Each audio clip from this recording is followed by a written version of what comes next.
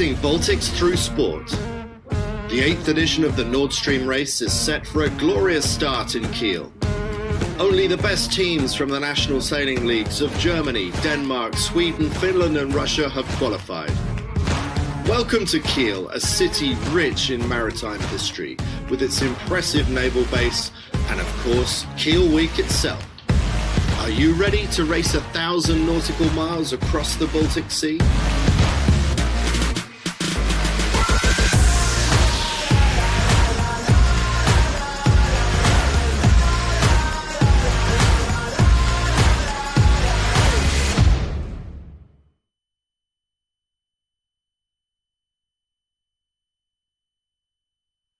Good morning and welcome from sunny Kiel in North Germany. My name's Andy Rice and with me is our resident expert, Suzanne Salmonen. And Suzanne, this never happens at Kiel Week, does it? 138th edition, first time the sun's ever come out in Kiel. Yeah, true. We're normally having our umbrellas out the whole time, but Kiel Week has really shown it off this uh, year with a lot of sun, and I think the whole week shows a lot of sun in the broadcast as well. Yeah, so uh, fingers crossed that keeps on going.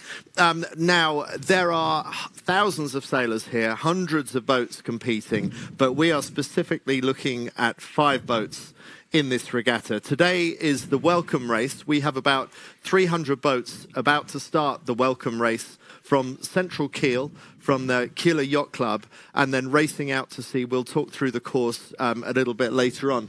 Um, but within that fleet, is the Nord Stream race fleet. Now, we are going to be talking about these five Club Swan 50s, each representing one nation, one Baltic nation. So we're starting here in Germany, then we go to your home nation, uh, to Copenhagen, Denmark. Yeah. Then we go to Stockholm, Sweden, um, and then on to Helsinki, uh, Finland, and then the final in St. Petersburg, Russia.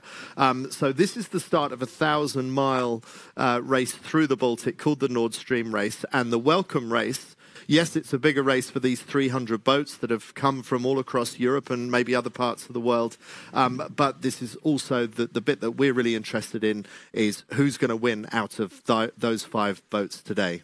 Yeah, so the Nord Stream race will have its first inshore race here at this welcome race. And today, in total, they will have three inshore races. So they will take part a little bit of the welcome uh, race. And then afterwards, they will be uh, having their own two inshore races to, yeah, because for the Nord Stream race, it is inshore races and offshore races that will combine the overall result in the end.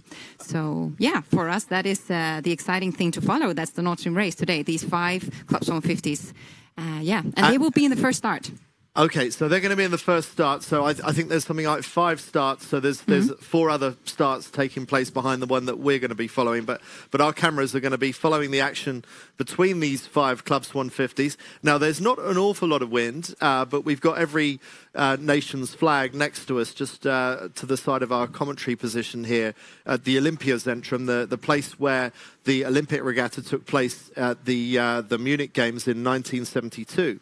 Um, so we're, we're in a purpose-built um, sailing centre here. This is the centre of sailing in Germany, really, isn't it? This is, this, this is where a lot of the great sailors come from in Germany. So uh, we're, we're, we're going to see a lot of local German support for the German team in the Nord Stream race. Definitely. Norddeutscher Regatta Verein. Yes. Uh, they've competed in this race before. Um, but also, uh, there's going to be a lot of support throughout this race for the other four nations, for Denmark, Sweden, Finland, and of course the Russians, who won the race overall last year as well. And I think you're totally right. The the Kiel the Kieler Woche, the Kiel Week, is a, is one of the biggest sailing events we have here in the north of Europe. I actually think it's the biggest in northern Europe, and it's. Uh, I think it's the biggest in the world. I, you I don't. Think so? Yeah. Well, in, in, terms of, it depends how you measure these things. Yes. But if you put all the boats end to end and measure the length of all the boats, if you put them end to end, I think Kiel Week would win. In terms of number of sailors that take part, I think Kiel Week would win. Yes. Um, it's also been going a long time, since 1882. So um, it is quite a tradition. And I think it's also a very respected event by a lot of sailors and a very broad amount of sailors. We have everything from the youth sailors to the Olympic sailors. We have offshore racers being here, and it's really, really a great sailing party. And uh, yeah, I, I think every sailor who's been here loves the Kieler Woche. Yeah, absolutely. Yeah. They they love it when the sun comes out Yeah, because, as, as we said earlier, that doesn't always happen. I just feel so blessed to be coming here this year and to be able to present you with uh, blue skies and fluffy fluffy white clouds. But we are here, you and me, at the Kieler. Oh, we have some background info here. Um, we are in the in the Kieler Woche, like where the sailing takes part, um, where you said at the Olympic uh, sailing area. But these pictures we see here are actually from the middle of town, where we will have our start. Okay, yeah. So, so where you're watching now is is about uh, it's about ten miles away, a little bit less fr- from our commentary position. So we will be actually seeing the boats from our commentary position as they come into the final half or, or third of the race towards the, the big lighthouse, which will be the finish, and we'll, we'll talk about a, a little bit more about that later. Just to fill you in a bit more about what is the Nord Stream race, that the overall concept of this race, let's have a look at a review of the 2018 edition. Yes. Nord Stream Race, a 1,000 nautical mile offshore race through the Baltic Sea from Germany to Russia. The Nord Stream Race is the ultimate offshore challenge for teamwork, performance, endurance, and passion. Every crew has the same equipment and tools. Only skill and teamwork make the difference in performance and finally winning the Nord Stream race. To qualify for the Nord Stream race, first each team has to win their national sailing league. In 2018, the Russian team from Lord of the Sail Asia were unstoppable and demonstrated their extensive skills in offshore sailing. The Nord Stream race passes through five great cities Kiel, Copenhagen, Stockholm, Helsinki, St. Petersburg. The long distance race connects five unique cultures. 100 sailors from five nations are battling for the trophy and the title Best Yacht Club of the Baltic Sea. A race that takes every sailor to his or her mental and physical limits. Nord Stream Race, connecting Baltics through sport.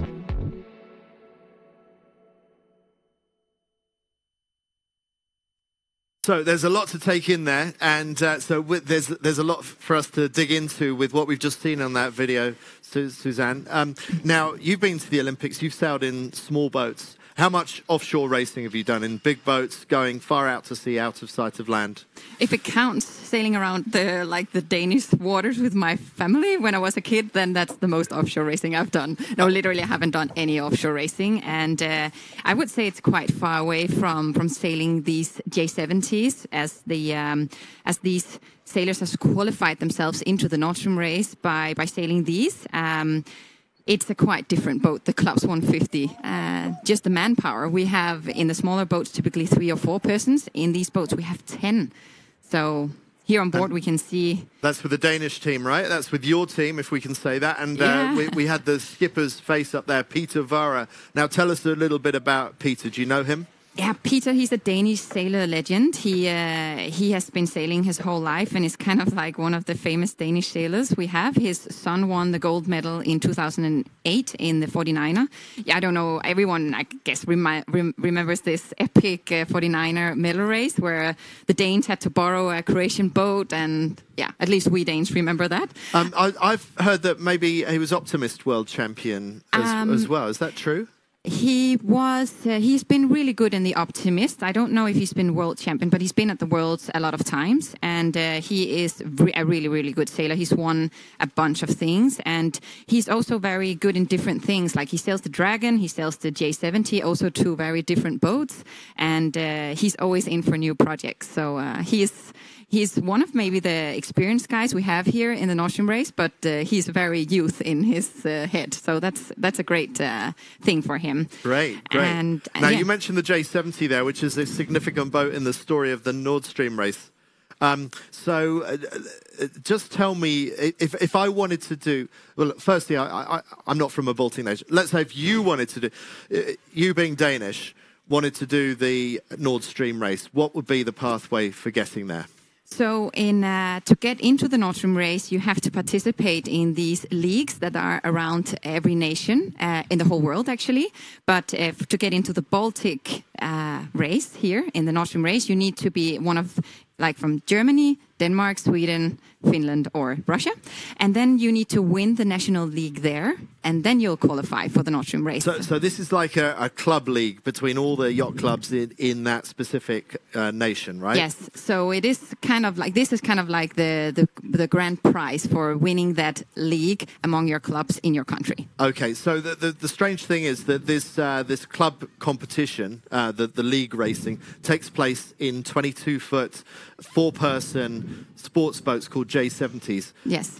Big dinghies, really. Yes, yes, they've got a keel on them, but they're big dinghies. Yeah, and they're you, kind of like keel boats that can't capsize. The right, best of both, right? right? Well, I, have managed to capsize really? one um, but, but anyway, I mean, they're, they're, you don't go out to sea with these things. You just do short, sharp races that last 10 minutes. Yes. And if you get really, really good at winning these fleet races that last only 10 minutes in these really small boats, you get the chance, if you win your national league, to you're given the keys to one of these 50 foot race boats that we're seeing now. It's, it's like you, you get really good at, um, at racing a go kart, and then someone gives you the keys to a Formula One car. Yes, it's a little bit like this actually. And, uh, but it's a dream that's coming true for a lot of these sailors because I think that's what they're aiming for as well.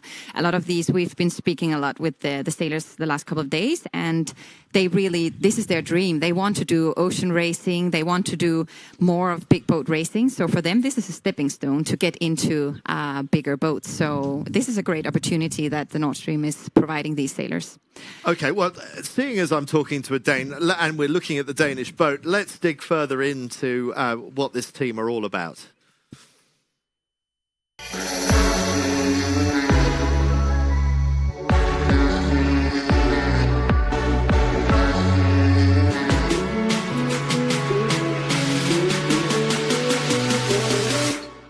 We've got a chance of a lifetime to be sailing these amazing boats in this fantastic race. We are entering the race with humility and proudness to represent our club and our country.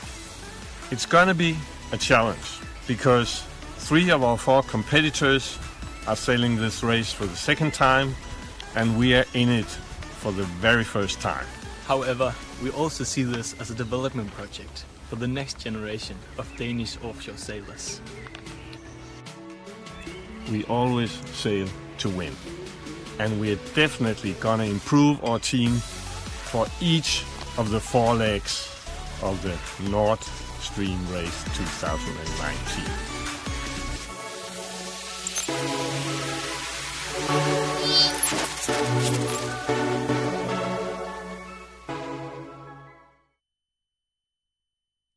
Okay, so a couple of interesting points there. Uh, Peter Warrer said this is their first time doing the race. He talked about their lack of experience. Um, also talked about the opportunity that the Nord Stream race offers to bring on the next generation of young Danish sailors and, and where that might take them. And, and when they talk about that, I, I suppose they're, they're talking about opening up possibilities of, of going into uh, to, even more offshore races, maybe the, the big round the world races, what used to be called the Volvo Ocean Race, now the, the ocean race, um, and and also the other big classics, things like the the Fastnet race and the the Sydney Hobart. Do you, do, you, do you, think that's where some of these sailors might be aspiring in, in getting a chance to get a thousand miles of offshore experience like this?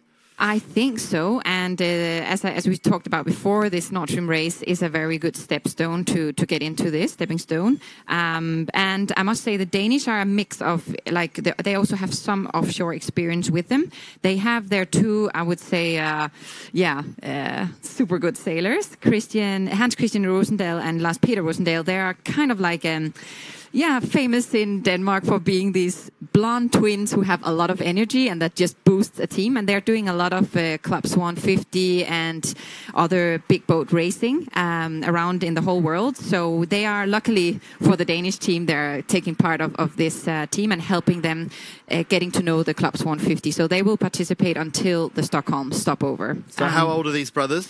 They're only 23, actually. So uh, even though they're young, yeah, they're one of the most experienced uh, Club Swan 50s uh, aboard this team.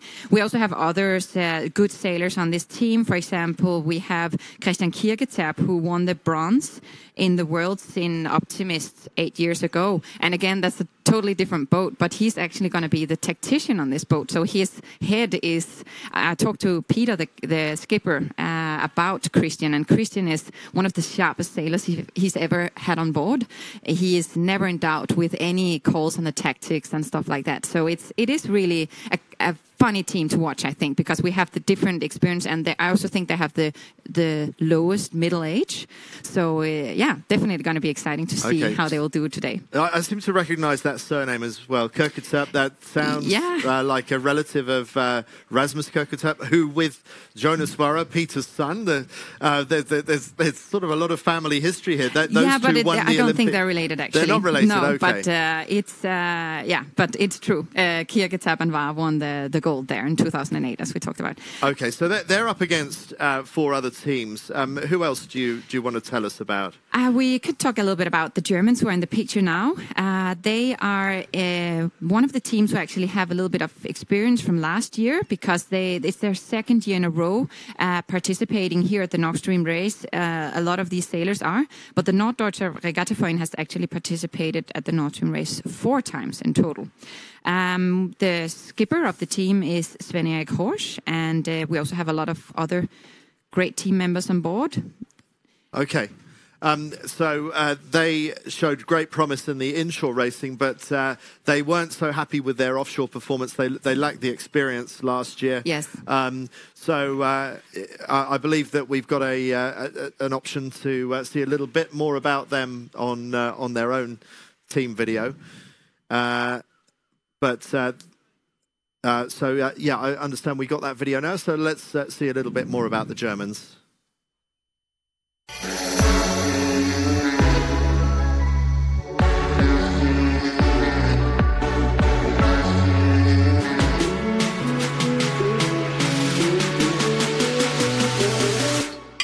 I'm definitely proud to present my club and nation at the Nord Stream race, but I'm also looking forward to awesome races against other nations in the Baltic.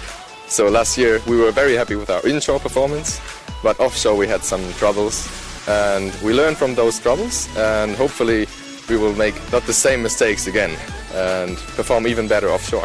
For me as an inshore sailor it was a completely different experience, uh, especially the long trip from Copenhagen to Stockholm and all the way from Stockholm to Helsinki with tough weather and but also some close calls in between those boats, these big boats. So I'm looking forward to racing again. I'm definitely excited to sail offshore again. Our goal is uh, definitely to have the strong inshore performance and do even better offshore.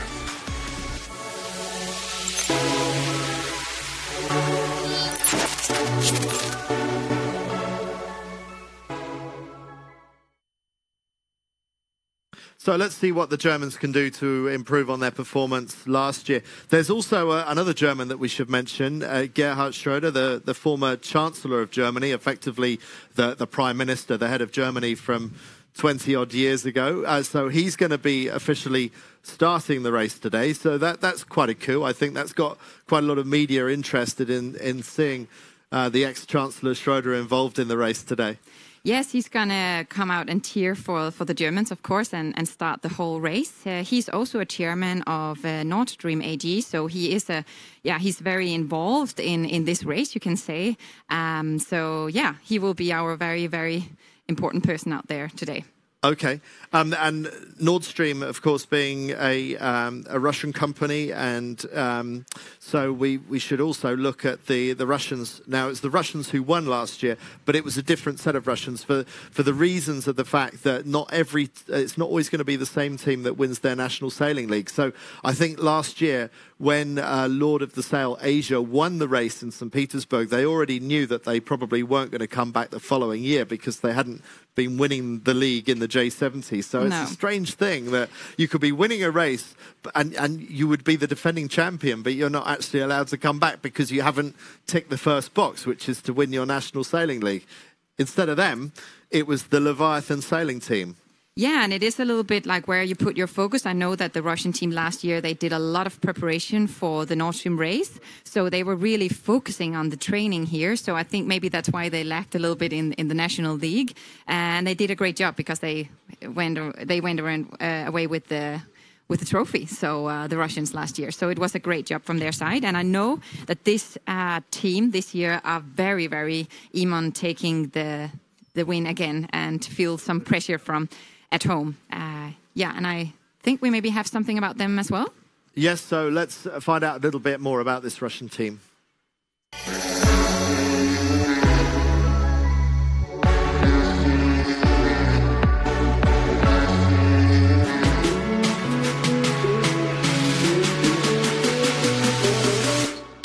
Are we proud? Yeah, sure, of course, because uh, we we really proud to be a part of a Nord Stream race because uh, uh, we won the national uh, Russian national uh, sailing league, and uh, it's a it's a big honor for us to represent Russia uh, in the Nord Stream race.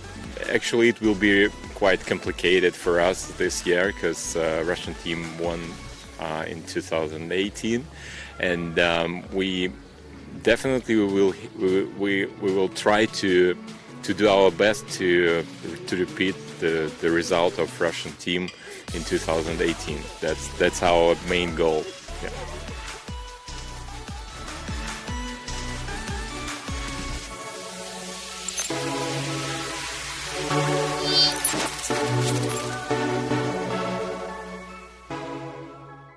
So the new Russian team are feeling the pressure of having to live up to what the Russian team Yes. uh, achieved last year. Now, both of us were actually following the race last year. You're following the whole race this year. I've been left at home uh, on bad behaviour or something. well, thank you. Um, but uh, they they feel like they've got a lot lot to live up to because the Russians really dominated last year, didn't they? They did. They did an amazing job. They had an amazing team, uh, and they were so full of power and so professional. And I think their strength was actually that they have the whole. They had the same team the whole way through. Other clubs or other countries have switched around a little bit among team members, but the Russians were super strong last year. Yes. Okay. And this year we actually have two really experienced sailors with us. Um, Mikhail Sheremetev and his brother Maxim. They actually did uh, the Olympic twice uh, in 28, uh, 2008 and 2012. They uh, they competed for Russia in the 470. So. And we have a lot of other good sailors on board this team. So maybe a different team this year, but I'm quite sure they will uh, perform well again. They they've really shown good uh, moves here in the training. So uh, yeah, it's going to be exciting to see today. Olympic sailors, they're always great for the attention to detail, aren't they? They're, they're very analytical. Um, they, they know how to break down a campaign. Exactly. It's all about this with campaigning. I know the Nord Stream race is not as the same as, as the Olympic Games. The Olympic Games is a four year um, process with the goal of the Olympics, and the Nord Stream race is every year. So you can, maximum for a year, you can prepare yourself. Um, but just leading a project, uh, putting up a team, uh, planning everything, uh, that is uh, that is what, what Olympic sailors are used to, and I'm sure these two guys are doing that in, in this team uh, th- this year. Yeah.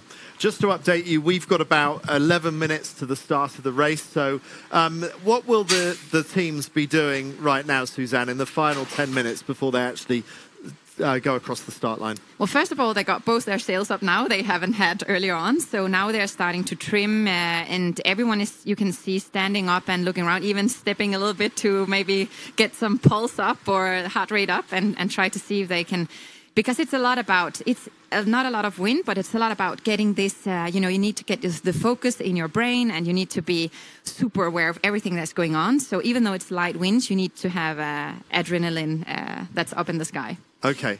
And in the background, you can see a big wheel for for people to, to go around. And, and, and just out of picture, we saw a tall ship as well. There's a lot going on in, in Kiel Week. And, and actually, it's an enormous sailing event. But there are also people that come to, to see some of the best bands in the world play here. They come to drink a lot of beer and um, and eat, eat eat a lot of bratwurst as well. So so there's there's a huge onshore festival taking yes. place in downtown Kiel, and some people may not even be aware that there's the sailing regatta going on. That's how big the whole of Kiel Week is, isn't it? It's it's true. It's a very big event, and uh, and I've been there last year because we had to make a, a little promo video for for Kiel because of the Nord Stream race, and it was amazing to see so many people having a great time and uh, really enjoying themselves. But I, am I'm, I think you're right; they didn't know what was going out out here.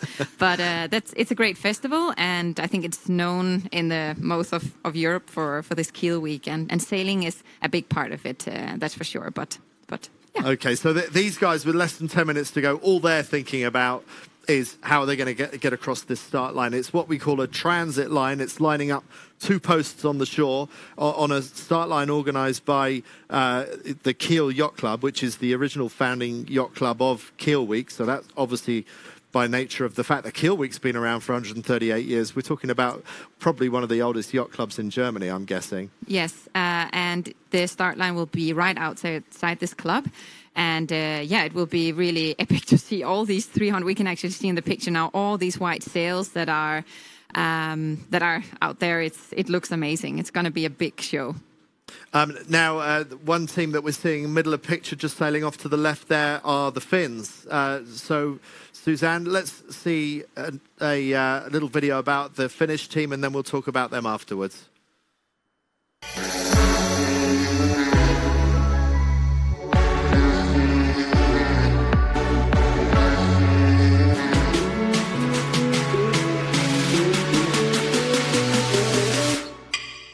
It was an absolutely amazing experience. Uh, we started off with the with the Kielerwoche, with the course racing in in Kiel, and then then we went all the way from from Kiel to St. Petersburg. It was amazing.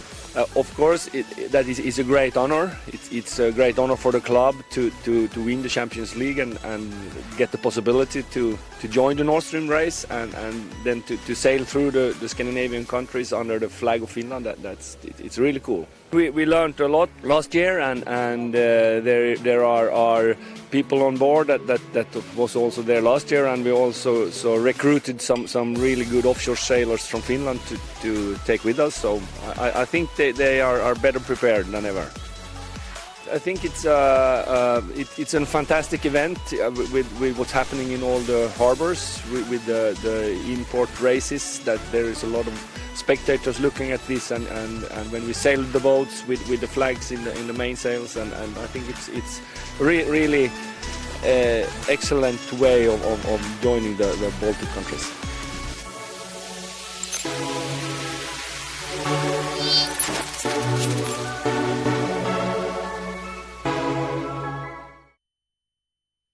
So the Club Swan 50, the boat that we're talking about, is actually made in Finland as well by Nautor Swan. So there's a Finnish connection with the actual hardware that they're using with yeah. these boats as well. Yeah, I wonder if it gives them some home water advantages. I, I don't Do know. Do they get an extra special Club Swan 50 because they're from Finland? I don't but know. Actually, they're from Åland. So tell us about Åland, because that's a special part of Finland, isn't yeah, it? Yeah, it's a very special part, and they are very proud of being uh, from Åland. It's an island in the middle of Bel the Baltic Sea, a little bit outside Finland, and uh, they have now participated for the second year at the, this uh, Nord Stream race. And this year, it's a new team. So uh, some people, some of the sailors are the same from last year, but most of them are actually new uh, to the Nord Stream race. So also going to be very exciting to see how they will perform. Also, uh, as we talked about with the Danish team, they're also uh, sailors that are mixed in age. They they have both young and older experienced sailors. So it's going to be really exciting to see their their performance. That's for sure. Uh, they also have a lot of world champions and European champions uh, on board their team, and later on, an Olympic sailor will uh, join as well. So yeah, it's it's going to be. Do you know who that is? Uh, it's an it's a 49er sailor. I can't remember what Okay. he's called actually right now. Okay. Uh, but yeah, he is. Um, he's going to join them later, and they're very proud of that. And uh, yeah. Okay. Um, now, um, Åland is uh, sort of halfway between Finland and Sweden, Sweden being the only other team that we haven't yet talked about. So uh, now you've got a Swedish connection as well. Yeah, you're married to a Swede. Yes, I am. So- so I'm living in Sweden actually. Right. So who, who will you be cheering for? Uh, I don't know. Actually, I'm going to race with the Swedes tomorrow because I'm going to be uh, on board, uh, not reporter, but I'm going to do some, uh, yeah, get some experience from on board uh, tomorrow uh, when they have their first offshore race. I'm going to join them to Copenhagen, the Swedish team. So of course, I um, I'm going to vote or like yeah cheer a little bit for them today. But but um, yeah, I don't know. I'm a mix of everything. You know, I speak German as well, and I have Finnish friends, and I'm like Well, I, now we're looking for the Russian connection because yeah, got- I don't yeah. know. I But was anyway, in we'll- St. Petersburg last year and I loved it. So I mean, I'm cheering for everyone. That, that's good enough. Yeah. Um, now they've got a very charismatic helmsman, Christian Harding. Let's talk about the team a little bit more. Let's just watch the video on them first.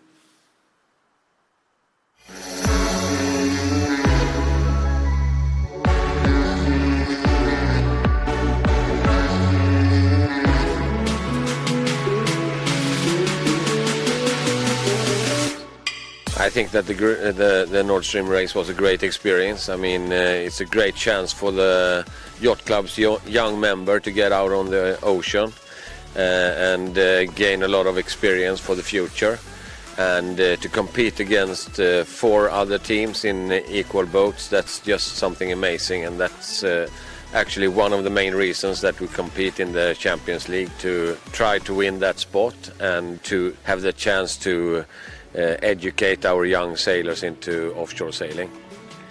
Well, it's a great honor, of course, to represent the, the yacht club, the, the Royal Swedish Yacht Club, and uh, I think it's good. I mean, we're uh, focusing on getting young sailors into the offshore racing, uh, and as I said, educate them.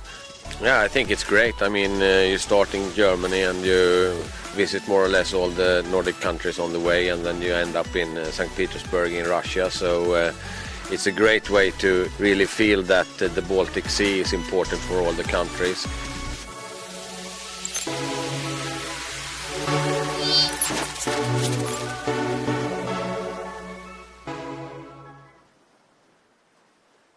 So that was one of the Swedes, Bjorn Hansen, uh, telling us about the appeal of doing this race. He's a, a great match racer, one of the best in the world.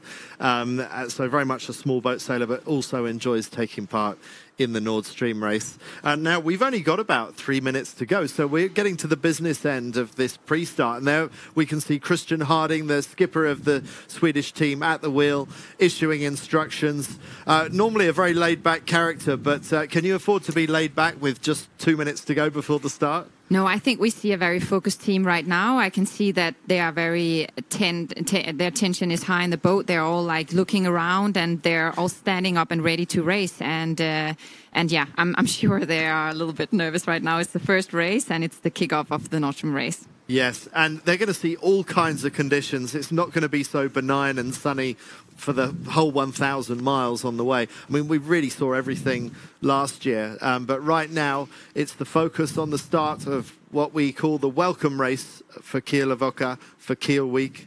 Um, see a, w- an old ship just going through the start line now. That I mean, there's a lot of commercial traffic that goes through here as well. I, I don't know what kind of restrictions there are on ferries and and um, and other shipping going in and out of here, but they're going to have to navigate all the other boats that aren't even racing as well. Yeah, it's it's some obstacles they have to work around, and and um, they're used to doing that. If it's a moving object like this, or it's a something uh, or something, because they will be racing out the channel right now. So uh, yeah, this will be a part of the race here in Kiel Week. Now it's all about uh, timing and uh, counting the, the or calculating the distance to this gate where they will start through. It will be uh, and not a classic start line they have. They will have this transit start, and uh, yeah, this is all about keeping the speed in the boats and uh, getting the right timing. Uh, yeah, and we see. I don't know where we have the fifth boat, but we have five boats racing here, right? I hope so. I hope so. Who are we missing? We're missing the the Finnish team in that graphic at the moment, but hopefully we get five boats. So just one minute to the line. we hear a little bit of screaming there on board. You can hear that. I, this is the the blonde tactician I was talking you about, one of the twins. Uh, the He, as you say, he do, he doesn't suffer from self doubt, does he? No, Even no. on that brief clip, you, you could see that there, there's there's quite a strong character there. yeah, I spoke with him this morning, and he said everything is on us here in the beginning because no one else has the Swan 50 experience, so we need to do all the calls. And he's actually in the back being the tactician, and his brother, his twin brother, is in the front doing the bow. So they're actually keeping like track of both sides of the boat. Uh, so oh, that's right. pretty cool. Yeah. Okay, okay. So they're putting themselves under pressure to win these inshore races. They think they should have the edge with their Club Swan 50 experience, do they? I think so. Yeah. Just five, just over five seconds to the start. Five, four, three, two, one. Sweden just turning up towards the breeze. Just to lure to them is Russia, and a good start also for Germany. Not much breeze, so none of the boats going particularly quickly right now. No, but it's all about, even though it's not quick, it's about being the quickest anyway, because it's uh, in this light wind breeze, it's, it's really vital to be the fastest and get out to where there's a lot of wind. Now, we talked about the Danes Yes. wanting to put their best foot forward. I think that's why we had a screaming twin there in the back of the boat before he, he realized uh, these 30 seconds before that they were going to be too late, and they are definitely having a really bad start here in the first inshore race at the Nord Stream race. Well, you, you've had all this time. You, you've had an hour, however long you want. Oh, what does this mean? Uh, Were the Russians over on the start line? Have they had to go back and restart, I wonder? If so, then that's going to be disastrous for the Russians. Pretty hard to tell what's going on here right now, but it does look like Russia has been told that they were over early on the start line and will have to turn back. So maybe things not as but we thought it was bad for the Danes. It might be even worse for the Russians.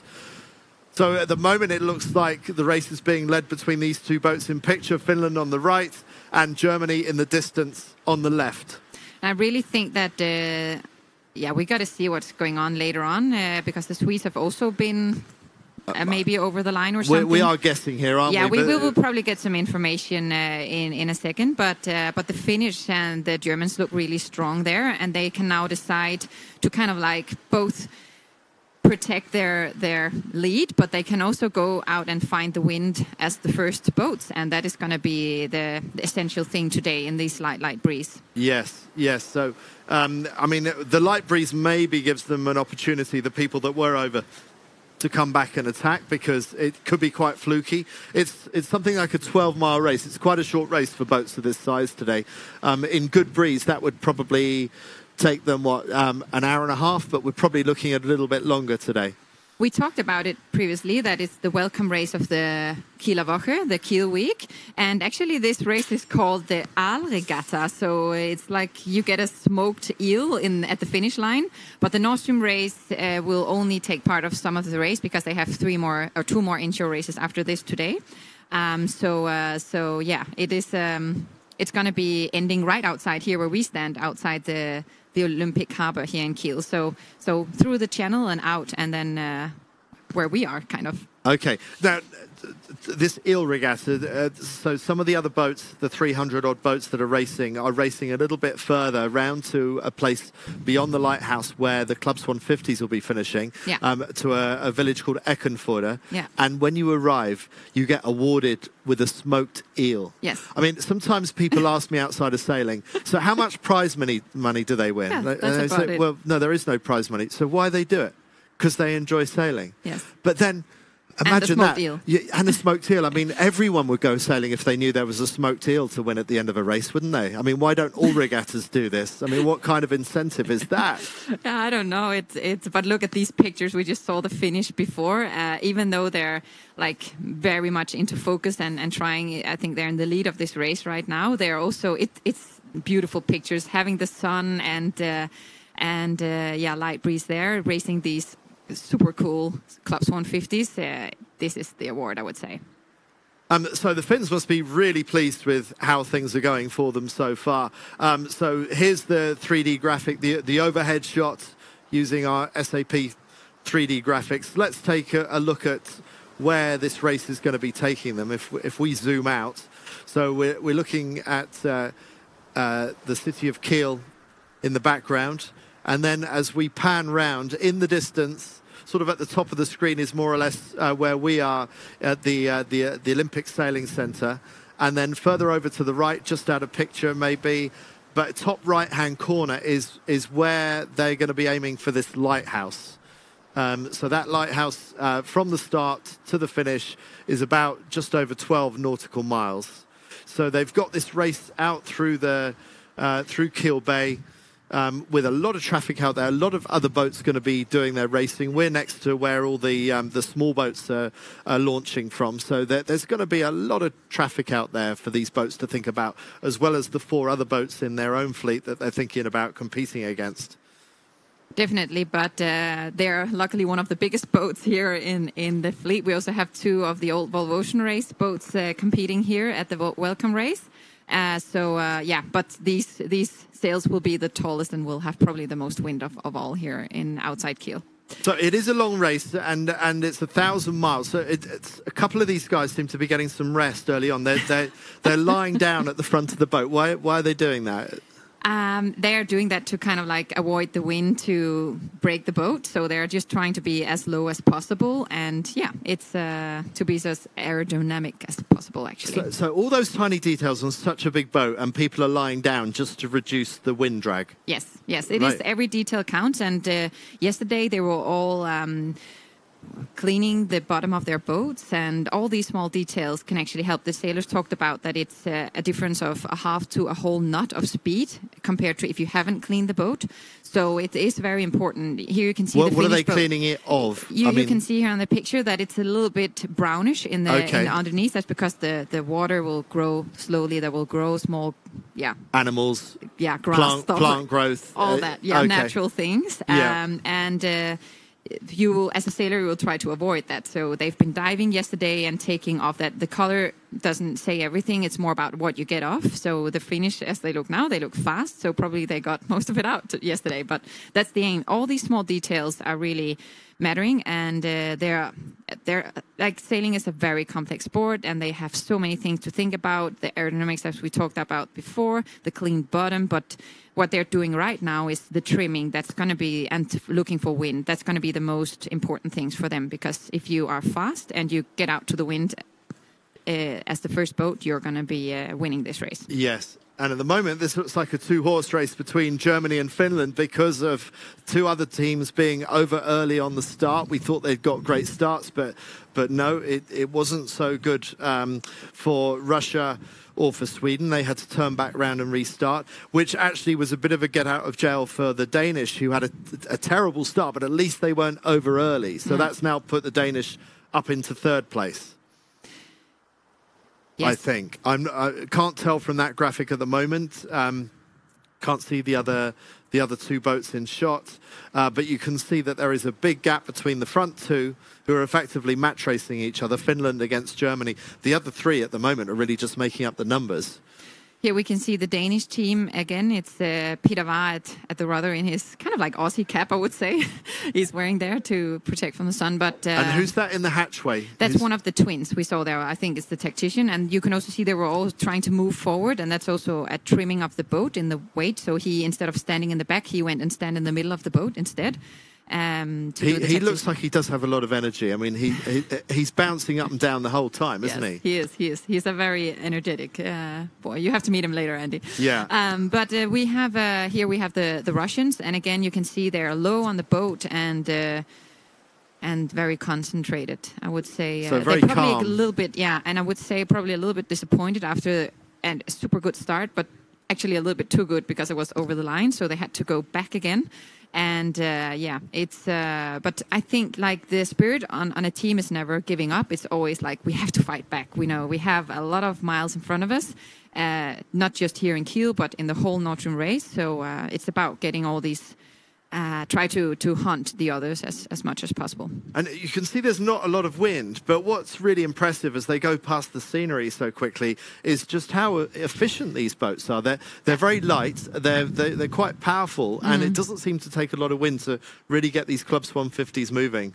No, no, and uh, you can see they have a, a little heel as well. So actually, I think the wind has been picking up more and more, and uh, and they are actually yes, you can see a couple of legs outside the side as well. So I think it's uh, yeah, it, may- it may probably has built a little bit during the morning, and and uh, and they're having enough, definitely enough race uh, wind to race. But they don't have as much crew weight forwards on the Russian boat as we saw maybe on the, the leading two boats. It No. seems like they haven't got as many people forwards. You, you would think uh, that you'd see more similarity between the, the weight distribution. Yes, maybe they don't know the trick. I don't know, or maybe they don't agree in the trimming. It's everything is personalized on every boat, and it's also not only with the trim of the weights, but also the trim of the sails. And uh, yeah, we will see in a couple of hours who has made the best decision, uh, who has been the best and fastest boat.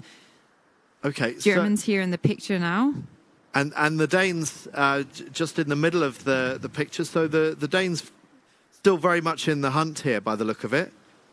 Yes, and if I look at the picture now, it looks as if there could be a little bit of breeze in front of the Danish. Um, so yeah, it's uh, exciting to see this split going on right now between Germany and Denmark, and especially since Germany were one of the leading boats out the start. Um, yeah, because wind will really be your best friend here today when there's not a lot of it. Uh, you really want to want to go for it. Looks like some relaxed Russian sailors there. And I think you've really got to keep calm in these conditions. You've sort of your mood to some extent has to match the wind, doesn't it? And you can ask yourself if one of these guys on, on the boat is actually like checking out his Facebook profile or if he's uh, but no, everyone is having their iPads with them and, and uh, it's the tactician.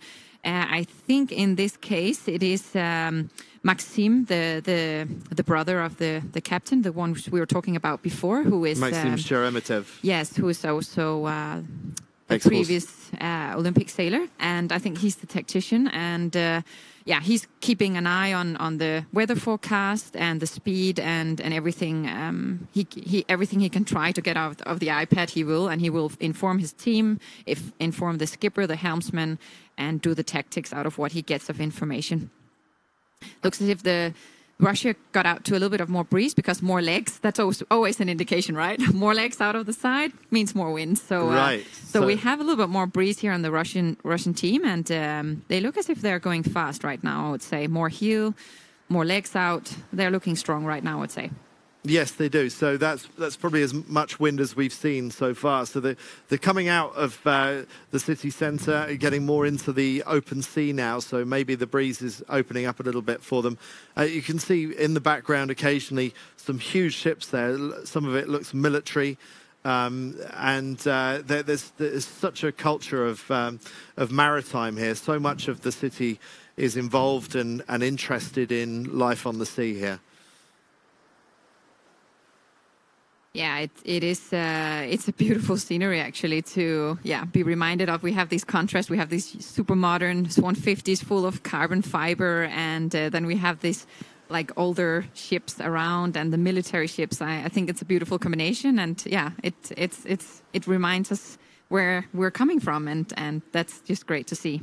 And it's quite an adventure going on this race, isn't it? You're, you're going through the Baltic Sea, you're, you're going from culture to culture. And, and one of the messages of the race, the Nord Stream race, is connecting Baltics through sport. Yes. So the, the idea of um, bringing together these, these different traditions and cultures and, and uh, helping the sailors and everybody else who's involved in the race and following the race um, understand a little bit more about each other and um, and the differences and also the similarities between those different nations. Yeah, I um, I know that there's there's some different themes and the different stopovers. So here we're now in Kiel. It's uh, business or uh, companies and sailing. That's the focus. So connecting businesses. And uh, the next stopover, which will be in Copenhagen, it will be connecting through food because, uh, of course, uh, Copenhagen is uh, like a metropole for good dining. And then in Stockholm, it will be focused on connecting, using the sailing as a co- connecting yeah, women in general and, and uh, making it more attracting for women to sail, especially also offshore races. And in Helsinki, there will be a focus on other sports. So I've heard there will be some hotshots uh, Finnish ice hockey players joining us for some of the races, uh, which will be very cool to see how their skills can be used on a boat. And then in Russia, it will be art and um, culture that will be in, in focus there to how to connect these Baltic countries. So every stopover has its own theme, and uh, yeah, it will be very cool to to to see this as a part of the race. Nice, and we've just seen uh, some boat, uh, some sailors on the Russian boat moving across to the other side of the boat. What are they up to at the moment? Uh, probably a change in the tactics. We saw the tactician before looking in the iPad, and uh, probably he is he he believes something is better going that way. So they made an attack, and uh, yeah, now you can see the the trimmer here in the picture with his red cap. He just did the last adjustments to the jib in the front, and now he's also going to trim. I think probably a little bit in a halyard or something. Uh, probably more and more breeze is is, or he's making ready to probably trim it. Um, to the other side, the, the jib when they attack, but yeah, it's it looks as if they're having a like more wind. It looks nice uh, from our perspective, and uh, yeah. Also, it's a very narrow uh, place they sail, so they have to do tacks at some point. Luckily for us, we'll have something to watch as well. Um, so at the back, it's uh, it's the Russians racing against the Swedes. Those places are changing for fourth and fifth quite regularly. So it's the, it's the race not to be last at the moment for those two. But of course, the, the, it's only 300 meters to the lead, so there, there's still at least 10 miles of sailing to be done. So, so there is still a chance of any of these boats winning. Um, but at the moment, uh, the the front two that got such good starts. Actually, no, I, I, I was, was going to say that it was the Finns and the Germans, but according to our stats there, the Danish may well have moved up into second place ahead of the Germans yeah, really lucky for them. Thinking about that, they got the worst start of them all, but they were not over the line, uh, which of course then made them back in the game because the Swedes and the Russian had to go uh, down and and and cross the line again. So uh, the Danes were a little bit saved by an angel there and uh, are back up in the, almost in the lead now, only 100 meters from leading. And uh, yeah, but of course the the Finnish are still 100 meters ahead of them, so they need to more catching up. But but at the moment, uh, quite close between the front yes. three, and then a bit of a bit of a gap back to the other two, uh, the Swedes and the Russians, who had to, who were over early and had to go back and restart. Very, very expensive. Um, and I would say, um, if I was a tactician on these boats, I would rather be five meters under than actually five meters over because it is so expensive. Maneuvering ten people, like even just getting aware of the fact that you're over, we could see it took a little bit of time, and then afterwards like communicating to everyone on board we were over like we be ready to to dock down the, the start line again. It's it's a big procedure and it's very very expensive maneuvering these boats uh, around. So, but um, that start was a transit start, which means basically you're sighting along two posts on the shore, and and so I think those are sometimes quite difficult to get right. True. Um, yeah. So if you if you imagine um, there's there's one there's a right hand side of the post or the left hand side of the post. Which side of the post is actually the bit that the race officer is is sighting down? So there's quite a big room um, for, for, for error there. But that's another reason why you should start five yes, or maybe ten exactly. meters behind the line because you're not really exactly sure no. where that start line is. It's not the, a risk worth taking, I would say, in this long long race, and especially having this many. Uh, yeah offshore races ahead of you as well. It's it's. Um, when you see Olympics um, Olympian sailors, they will they're going to be on the start line when when the shoot, shoot is off. But I think offshore racing, especially in this transit line, I think the most smart thing for for the Swedes and the Russians would have been to have a little bit of more uh, gap towards the start line because it, it was a, an expensive mistake today. Well, on the Russian boat, you mentioned that there are those brothers the, the, who campaigned uh, two Olympic Games for Russia in the 470, uh, a 15 foot. Uh, well, 4.7 meter boat. Um, and so I wonder if they were being a little bit too yes, pushy on, on, on the start line, thinking, well, come on, guys, we've got to be right up on the, this line because that's what they've spent their whole careers doing. Offshore racing, um, is really a, a, a very different game. It's it's it's a, we in uh, I, I don't know if you have the story in Denmark, the tortoise and the hare. No, tell me. Okay, so the the hare goes haring off down the, the track, um, and uh, they got they got a race on. No way is the tortoise going to win. But then the hare gets gets a bit lazy, just, and uh, decides to have a bit of a nap in the sunshine, and the tortoise just ambles on by, and um, the hare wakes up later on and realizes it's too late, and the tortoise has won.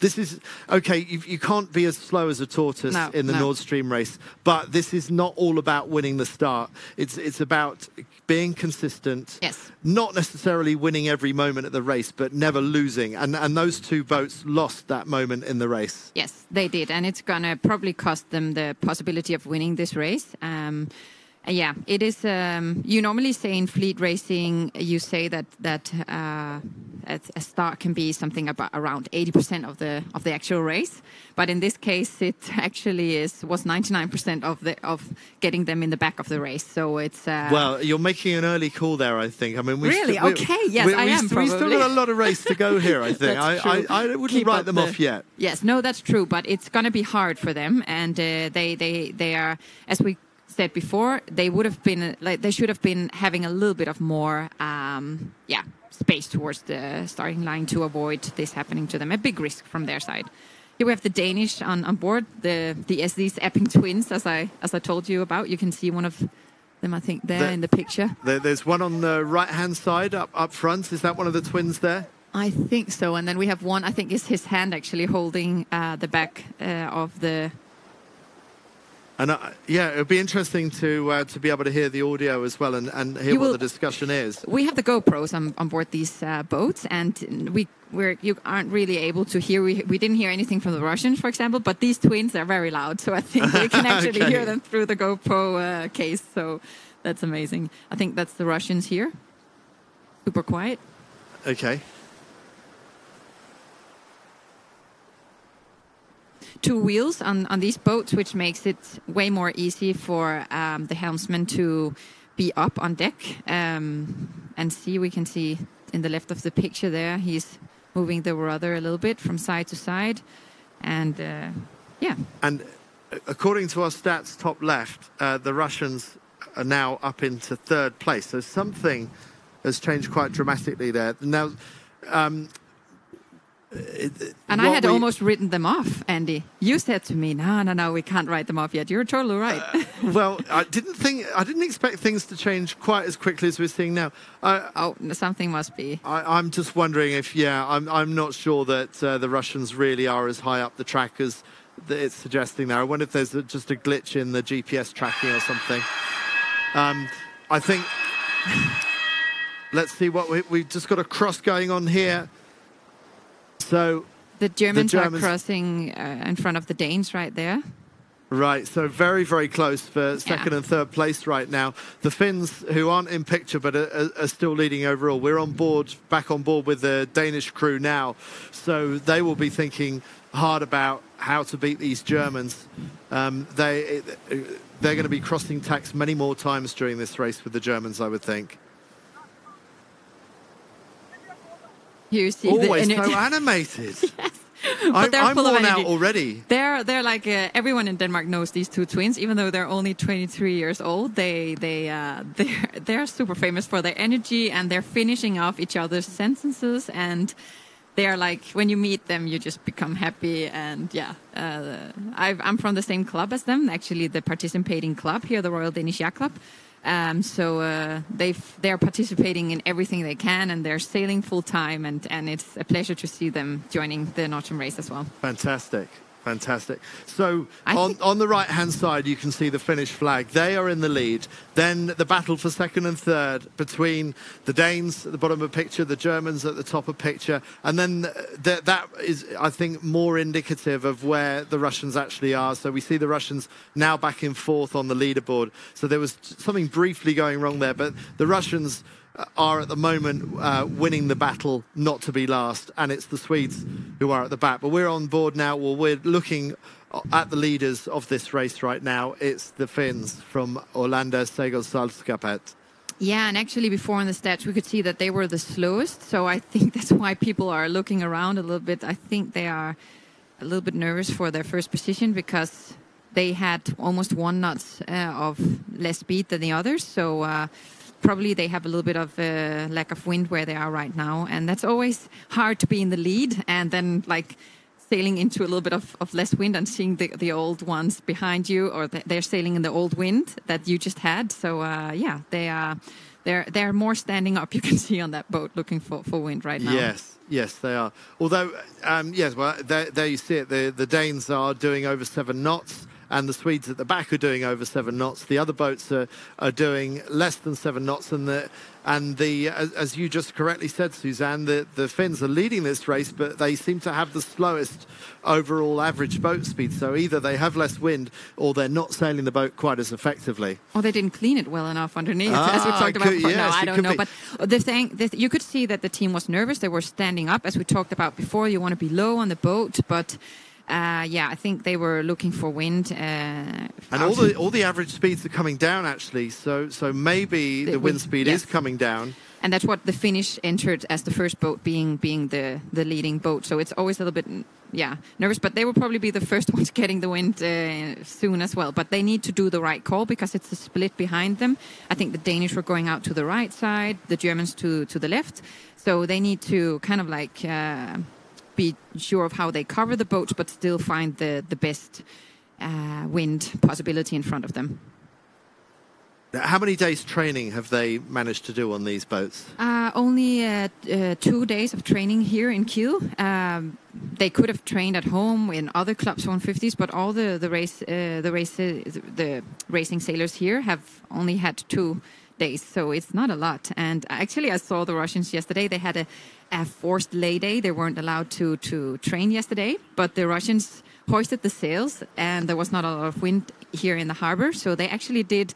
Uh, dry training, I think you say right. in English, right? Okay. Uh, where you jump around and pretend that you're actually racing. And I must say, I was really impressed because it just showed this eager of the Russians and saying like, okay, we're not allowed to go out today, but we have a lot of things to talk about. We had a lot of we have a lot of maneuvers we need to go through still. So they were taken really serious, and all the teams had meetings and made preparations, did some trimmings, and uh, they did everything yesterday they could, even though they weren't allowed on the water.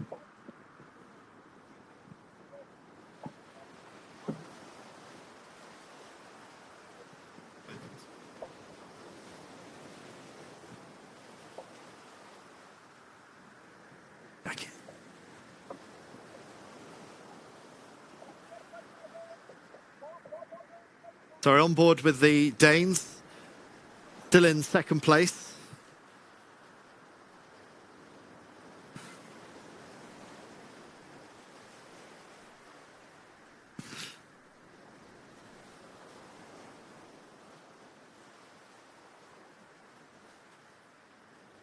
And the Finns looking a little bit light there at the moment, but still in the lead overall, but only a lead of 100 metres over the Danes.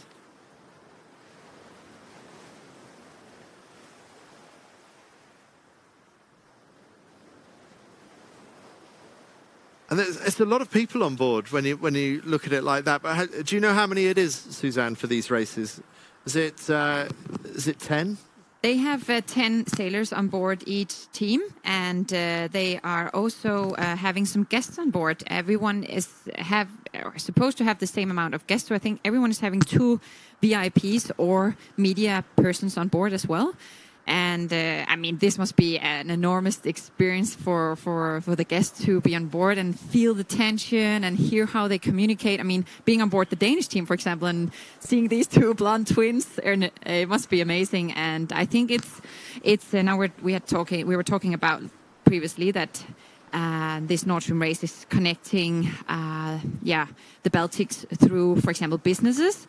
And I think as a as a business person, you really can get a lot of out of watching these sailors communicate, teamwork, uh, handle the stressful situations, and that's very useful uh, for companies to take that experience from the sports into their own offices. And uh, yeah, I think it's very useful for them.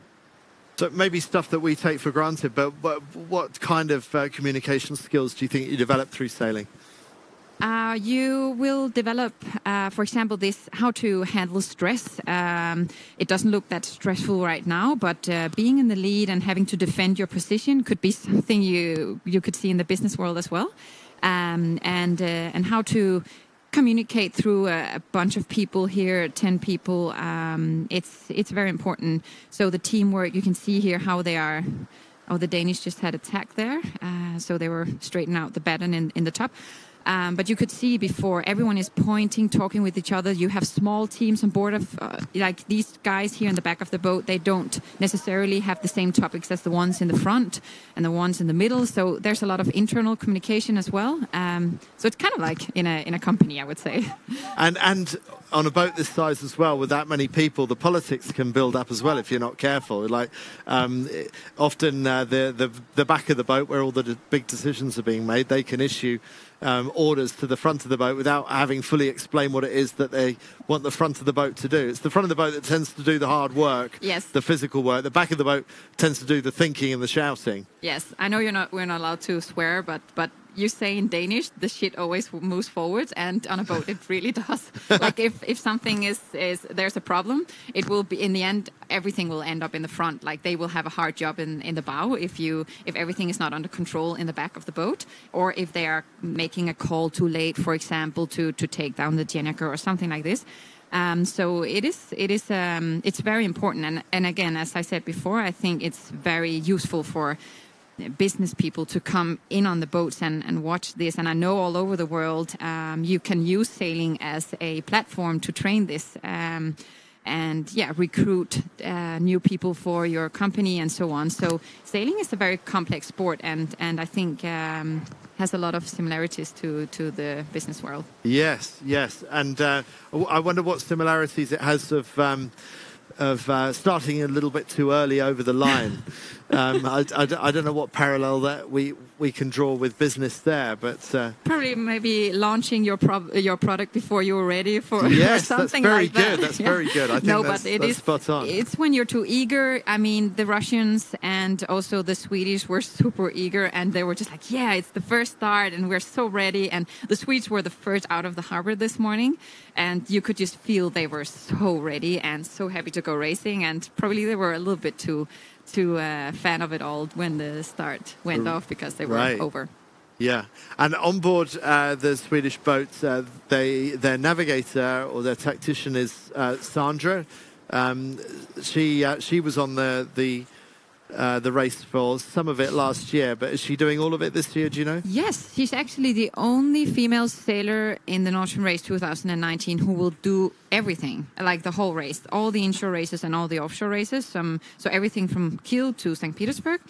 And uh, she's also the tactician on board. And yeah, I had an, a nice chat with her yesterday, and she said that because you can think like ah but come on she doesn't have the same amount of muscles and and she's not as strong as the guy. She maybe hasn't got the same offshore experience. But sandra has actually she's one of the sailors with offshore experience on the swedish team. And uh, i mean being a tactician you don't need big muscles you can just be you need a really good brain muscle because you need to be super uh, good in in getting the right calls for where to go and uh, yeah that will be her responsibility and I know that the rest of the Swedish team has a huge respect for Sandra. She's one of the experienced uh, sailors on board. She's only, I think, 32 or something years old. But um, but yeah, a lot of the the younger guys are respecting her her skills a lot. Right, right.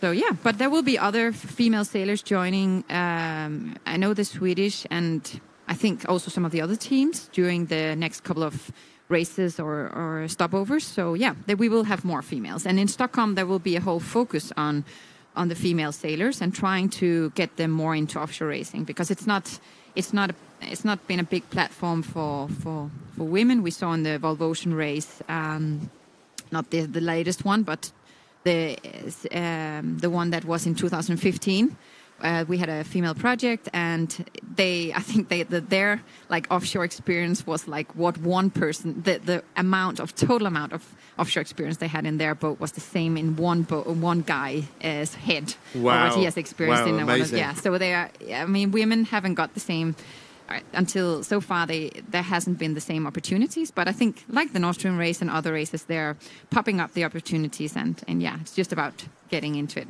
well, one of the practical challenges on an offshore boat is um, men and women living side by side with each other for days on end. Um, the, the, going to the loo, some of the basics of, of that, and everyone sort of preserving their dignity, that's quite difficult sometimes, isn't it? I mean, just the practicalities of when a boat is bucking up and down in the waves, it's throwing people all around the place, and, and you're trying to go downstairs to go to the loo. I mean, just the practicalities, the, the simple things in life that we take for granted suddenly become a major mission. It's like climbing Everest all by itself, just going to the loo, isn't it? It is. And uh, like tomorrow, these sailors will head off to Copenhagen at four o'clock, and they will uh, and they will race the whole night. They won't sleep for a whole night. They will just be, you know, sailing. So yeah, it is. It is different. It's very uh, demanding, and and uh, it's not like a, a normal like day schedule they will have and the food they will eat out of a bag and you know it's it's kind of like uh, yeah as you said climbing everest or something like that it, it, it doesn't. Uh, it, it, it, doesn't really appeal that much. I have to say. I, I, I sometimes wonder. What, what, we'll come back to that in a moment because I, I think we should just update you on, on what's going on in the race. But there are other topics to dig into there. Um, but that's quite a nice shot there to to, to see uh, the Finns at the bottom of picture, leading on port tack. And um, can you, Suzanne, see who the other boat is further at top of screen there? Um, might that be? It's not the Swedes, is it? No, um, actually, I must admit I can't really see it out of the the picture here. Maybe the Danes, but Okay, so that, that I've heard that is the, the that is the Swedish boat apparently. Okay, okay. So so actually, the the distance fr- front to back. Okay, there, there's the there's the 3D image. Actually, it makes me wonder if that other boat we were looking at was the Danes. Anyway, um, the the Finns are still leading, and the boat speed still hanging around the sort of the seven knot mark. And it, it looks like the Finns are, are, are, very much the same speed, if not the fastest boat on the water. So, as you said about 10 minutes ago, Suzanne, maybe they were sailing into the light patch sooner, but maybe they're coming out of the light patch into better breeze sooner than other people as well. So, the Finns potentially have a chance of stretching their lead a little bit here. Yeah, they're they're looking very strong, and uh, it's going to be exciting to see how Germany is going to end up after because they went out to the other side, and I think they uh, they're quite lonely out there. So, uh, but uh, yeah, on their speed, they're looking okay, stable compared to the others as well. So, but it's yeah, it's always exciting with splits, but it's also uh, risky from from the Germans um, because they they still have two boats behind them that they will have to defend, but of course they're hunting for better, so they want to beat the Danes and, and the Russian or the Finnish in front of them. So. But it, in in terms of hunting for better, it looks like if anything that gamble hasn't worked out, and no. the, the, Germans are, are, more in danger of being swallowed up by fourth and fifth place by the Russians and the uh, the Swedes. So um, the Finns really have stretched their legs. Their, their lead was down to 100 meters 10 minutes ago. Now it's up to more than 200 meters. Um, the Danes look fairly secure in second place at the moment, and the Germans in danger of being caught by the Russians and the Swedes. Yeah, that is the situation right now, and um, and yeah, I we talked about it earlier on as well that it looked as if there was a little bit more of. Uh, of breeze to the right, where the Danish went as one of the first boats, and I think that's that's what how they also gained more and more, and uh, and now are on a clear second spot compared to they took over the, the Germans with a lot. Um, but the Finnish are really, really strong. Um, there we can see here how big a lead they have, and they were nervous before, as we talked about, but it, it turned out well when they when they were looking for wind and and uh, probably trimming um, a little bit differently. It's in this winds it's a lot about changing gears all the time so preparing yourself if the wind will go up you have to trim you have to trim the body weight the sails um, everything and if, if, the wind drops uh, you have to do the exact same so that was probably what we saw that the finnish were, were doing there in the picture now and now they look as if they have the breeze on again more people over the side and, and yeah and uh, that overhead shot was really interesting to see how little wake, how little the uh, the boat disturbs the water. It's got the uh, the motor rib, much smaller boat next to the Finns. Um, but kicking up a lot more wake. So you can see that there. The, the boat on the right, um, probably the boat where one of our cameras is, Yes. is situated, kicking up so much more wake, um, and and the water looks so clean behind the um, the sailing boat, behind the Club Swan 50. Yeah, it's just great design and and uh, and they're really yeah. As we talked about before, they're light uh, boats and and uh, they're really going well. I've sailed them once and and they're they feel so nice too. Like ac- actually, we talked about it earlier that the that the J70s, the boats that they actually qualified to be able to participate in the Nord Stream race, that to qualify in the J70s. This just looks like a big J70. Like it's sportive, it's a, a big cockpit, it's all the design of it. It's very modern and a lot of carbon fiber.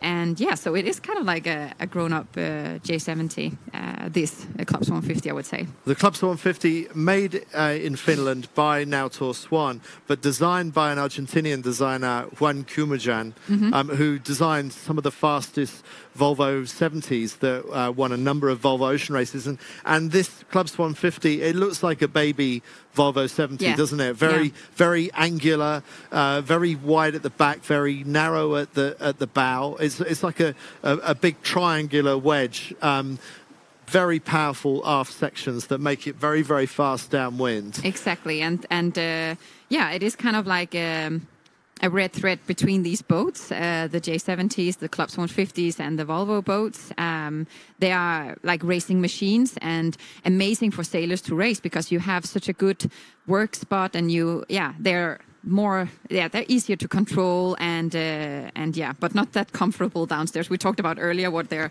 doing how they're living their lives and and downstairs is just ripped. It's literally nothing downstairs. If you as a private person buy a Club Swan 50 you get couches and uh, a toilet and stuff like that. A nice little kitchen down here in these uh, Nord Stream race Club Swan 50s, they're ripped. There's nothing. There's not even a mattress or anything. It's just sails and equipment and yeah, their gear. So And um, when they're out at sea on the offshore races, they go into a watch system. Is that right? So um, not everyone is sailing the boat all at once because you have to get some sleep at some point. Yeah, it depends because the shift we have, the first leg we have that is uh, going to be from Kiel to Copenhagen, will only it they will start tomorrow at four, and they think they'll be in Copenhagen somewhere Monday morning, which means that they will not have like they will they will not they, they they're okay with jumping one night of sleep. Maybe they'll get a couple of hours here and there but they'll have a shift anyway because you cannot stay focused for that many hours and uh, and you need to so you the helmsmen for example they change and the trimmers they will change a little bit all the time to be sure that you can have a little bit of rest think about or you're not thinking about that much else but i think just you know maybe have a little bit of food and uh, and uh, just go somewhere else on the boat so you have your head fresh when you are going to go back on your position again. But of course, the leg between Copenhagen and Stockholm, you need to do these shifts. And uh, I don't know how these teams are doing it individually, but the smartest way that you can do it and the way they're doing it in the in the ocean racing is. Um, in the Volvo Ocean Race is that you have typically four hour shifts. So you are on for four hours and then you're off for four hours, on for four hours, and then like this. So yeah, the then when you do long races, like for example from Kiel, uh, from uh, Copenhagen to Stockholm, you will be challenged in the sleep because uh, yeah, it's going to be a race for two three days, something like that, and then you're gonna you're gonna need more than just the yeah a couple of hours here and there sleep. But they're super tired when they come into the finish line in Stockholm. Um, but yeah, this shift system is is keeping them alive through the race. Now, uh, the timing of this race, the Nord Stream race, we're, we're coming up to the, this is the eighth edition, is that correct? Yes. Um, so, so previously the Nord Stream race started later in the year, um, and uh, you wouldn't have had this whole multitude of boats out on the water in some of those previous editions. We're seeing so many boats out on the water, and, and the amount of traffic that, uh, that people like the Danes have to sail through right now, you, you can get some sense of, of why the timing of the Nord Stream race has changed to coincide with Kiel Week. I mean, it's just a fantastic time of year to be here, to, to be surrounded by so many other people who love this sport. Yes, um, Kiel Week is one of the the great events, but Nord Stream Race will also take part of a big event in Stockholm, where it's the ÅF Offshore Race, um, where it's something similar like the Kiel Week, just a little bit smaller, but it's a start also for an offshore event in uh, in KSSS, in this Royal Swedish Yacht Club. Um, so there, there will be a lot of uh, boats as well, and you almost see the similar pictures going out of the um, Archipelago in in um, in Stockholm. You see all these boats, and uh, yeah, it's it's great that the Nord Stream race has combined their race uh, with uh, with these two big events because it, it makes more um, live on shore and and things um, yeah to to watch. Oh, we have a little bit of VIPs here in the picture. Yes, so that that is uh, Chancellor Schroeder. Uh, the former Prime Minister of Germany, enjoying his ride at the back of a Club Swan 50 today and enjoying everything that there is to see and uh, experience out there in uh, Kiel Bay today. It must be one of the busiest days of the year. It's just such a celebration of sail out there today. Um, so uh, a proud moment for uh, former Chancellor Schroeder and all the other Germans on board the uh, Norddeutsche Re- Re- Regatta Verein boat to uh, to be sailing out of Kiel's city centre and uh, through all these amazing number of boats that we're seeing out on the water today. Uh, attack just coming in there. Can you see who that is? That's just gone on to starboard tack, Suzanne. I can't tell from here. I think it's the Russians, maybe, but I'm not 100% sure. We have to see in a bit when they come more clearly into the picture. and cutting their way between two other boats. So that goes to show uh, is that the Russians? I still can't tell. Um, I think it's, it might be the Swedes, actually. Um, yeah, it probably is the the guys we have here in the picture now. Um, So yeah. there, there's a, a real battle for third, fourth, and fifth. And unfortunately for the Germans, they have They're rather. part of this, yes. yeah, they've been swallowed up, haven't they? Yeah, they have. Um, they they took a little bit of risky call there on the left side on their own, and probably they had less wind out there. Um, and yeah, the the Swedes and the Russians were able to to catch up, and that's of course their goal. Um, oh, yeah, of course that's their goal to to catch up on on. Uh, because after this bad start, where they had to go across the start line again, uh, that was a tough one. So of course they they're into trying to hunt for the rest of the sailors now. Yes, absolutely. But uh, we have in the Nord Stream race, we have uh, these are the inshore races that we're watching right now. We'll have two more this afternoon. But the Nord Stream race also has uh, some offshore races, as we talked about before. And the Nord Stream race has three trophies. They have one trophy that is for the offshore race. So counting all the four legs. So Copenhagen, uh, Kiel to Copenhagen, Copenhagen to Stockholm, Stockholm to Helsinki, and then the final one, uh, Helsinki to St. Petersburg. So that's the overall uh, offshore trophy. Then we have the inshore uh, trophy, which is races like this, all the ones combined in all the stopovers, and then the two of them combined, the offshore and the inshore. And the Swedes really attacking uh, the Germans. The Germans on starboard tack sailing towards the left. Just seeing the cross now between Sweden and Germany. So Germany still ahead, but uh, Sweden certainly on the attack, and their tactician Sandra making some strong calls. As the it seems like we're going through the narrowest stretch of water right now. So Yes. um, We'll have some action now, I think, uh, Andy, actually, with the tacking, and it will be uh, it will be beautiful to watch. And and I think it's a little bit funny that uh, this picture of the Germans and the Swedish just reminded me a little bit of match racing. Actually, they were so close, and uh, and the German skipper Sven Erik Horsch, he is actually a former match racing sailor of Germany. And um, yeah, he's taken away a lot of titles previously, and uh, yeah, it's he, but yeah, he's not really doing any match racing right now. He's not tagging back on the Swedes. I would love to see that, but yeah, he's of course he's. Oh, maybe it's coming there. uh, The yeah, it looks it like the. Germans are just Oh, tacking. maybe he so heard what I said. no, but, and Bit of- there the bit of outside assistance. This is a classic match racing situation where you're kind of like having a tagging duel.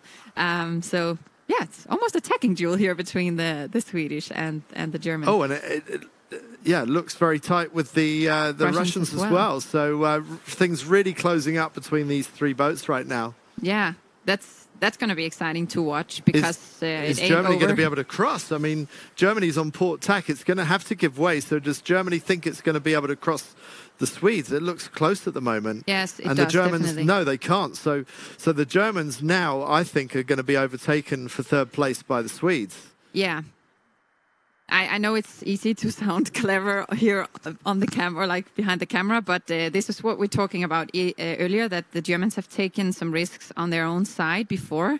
And now, uh, yeah, again, the Swedes have won on the right side. So uh, it was a little bit risky of them not to. If they would have been a little bit quicker in the match race moves, they could have like come back uh, to to the right side quicker. But yeah, now it looks as if they lost uh, this the Swedish boat. And even on the scoreboard, in the top left corner, we see the Swedes now in the third place. So Sandra Sandquist, she was talking through some very quick tacks. That was three quick tacks uh, very close together, which you don't always want to tack that often because every maneuver slows the boat down. You want to keep on going in a straight line to keep the boat going at top speed. But in tactical terms, she's sailed a fantastic race for the last two or three minutes. It's moved the Yeah. Swedes up into third place. Yeah, and she comes from smaller boats. Um, uh, previously, she's done Olympic racing and, and other racing. And I think if when you come from the smaller boat, you have tendencies to be like more open-minded for tacking and maneuvers in general because uh, it's a big boat to maneuver around. A lot of people you have to move. But I think Sandra, she's just like, let's go for it. Come on, uh, we uh, we need to do a tack. So I think she's quite into uh, trying to to see whatever she can do to get the tax in. And and if you do a right tack in these conditions, you can get the speed up quite fast again. So I think, um, yeah, you if you do them right, of course. So, Yeah. And uh, but I think again, this Swedish team is almost the same crew as they had last year, and I think uh, they're. Uh, one of the experienced team because the Germans and the Swedes are the only ones who have the, the same skipper as last year. So uh, yeah, it's it's there are some of the the the teams that then actually can say that they have had some hours in the Club Swan 50s. So uh, yeah, Yeah, well, that, maybe that's one of the differences with these tacks because getting these maneuvers right, uh, especially if you've only had two days practice in the boat, never sailed a Club Swan 50 before, it's a little bit intimidating going straight into these fast maneuvers, especially with hundreds of other boats around you that you've also got to stop from hitting as well. yes.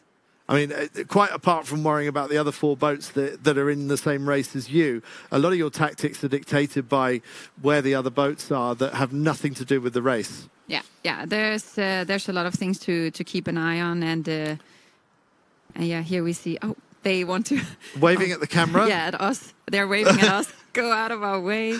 Um, no, but they probably felt as if they were a little bit close, and their wave can be the from the media boat can be a little bit annoying uh, if I would say that's that'd be giving them a shove from there, yeah, wouldn't it? Nah, it, it can. It maybe these boats are too big, but at least in the Olympic um, classes, it's it's something. This this this wave from behind the media boat can actually be a like a stopping wave, so they can't get past it. I think the clubs 150s are bigger than that, but Yes. uh, maybe that's what they were thinking. Like, get out of our way. Maybe they had a little header in front of them, so they fell. Ah, ah, we just Well- got info here. So uh, apparently they, they had to avoid uh, another boat. They were looking for some uh, room, to be to- able to yeah. manoeuvre. Great. It's, some- according to our stats at the moment, the Germans may have moved back up into third. So um, still very close between Sweden and Germany, and Russia not very far behind either. but so- again, a split. I think. I s- It looks like it, doesn't it? Yeah, it looks as if at least the Germans are very alone on on their side, and yeah, it's um, they're taking some risks today, but right now it looks as if it's paying off because they're back up in third again. But yeah, On board with the Danes, more Peter quiet. Vara at the helm. Did you say more quiet? I think this more looks more quiet. We don't have an, an like a Duracell uh, twin jumping around in the cockpit right now, uh, so they're probably quite happy about their where they're heading right now, and you can You, think the less the Duracell twin is jumping around, the, the, the better the situation? yeah, then there's more control over the situation. And, and Right. uh, yeah, they said to me this morning that a lot of it is depending on us. And uh, and I talked with Peter yesterday. He said that these two guys are amazing. They are just. Uh, they're really good in, in, in helping the whole team, and uh, yeah, I they their team spirit seems really good on the Danish team. I also understand Danish, of course, so I can understand what they're talking about, and uh, they seem as if they're happy and you know energized, and yeah, so it's um, it's been great to witness these guys. You can see one of the twins there.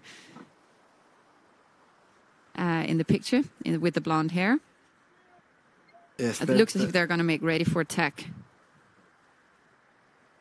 And you're spot on as they go into attack. But meanwhile, well, there, there are the Danes. They've completed that tack. Still looking ahead, still seeing what opportunities they have to be able to try and seize the lead from the Finns, from Åländska Segelsällskapet, who uh, were one of the two leaders off the start line, and no one's managed to get ahead of them yet. This picture just, I know we've been talking a lot about these twins, but look at them. These are the guys running the boat. We have They- the, with the blonde hair. It's like I've uh, got blurred vision. Absolute if you- if spitting you were- of each other. if you're talking with them, you would feel like this with the with just the hearing because they're they're also talking all the time. They're finishing each other's sentences, and they're a great team. And it must be a real uh, gift for for the Danish uh, to have them on board their team.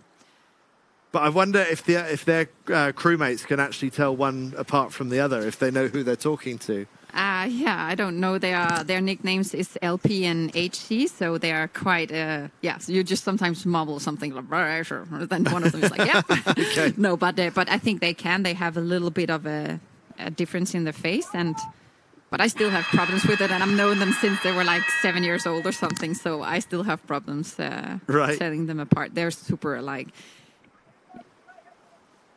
It's great And- to hear some sound. Actually, I, I love that. It's uh, you can hear the interaction, and and uh, I don't really see any VIP on this boat right now, but they must be sitting somewhere else. And I was at the skipper's briefing yesterday, and the sailors were asking about that. Can we put the VIPs wherever we want? And uh, the answer was yes.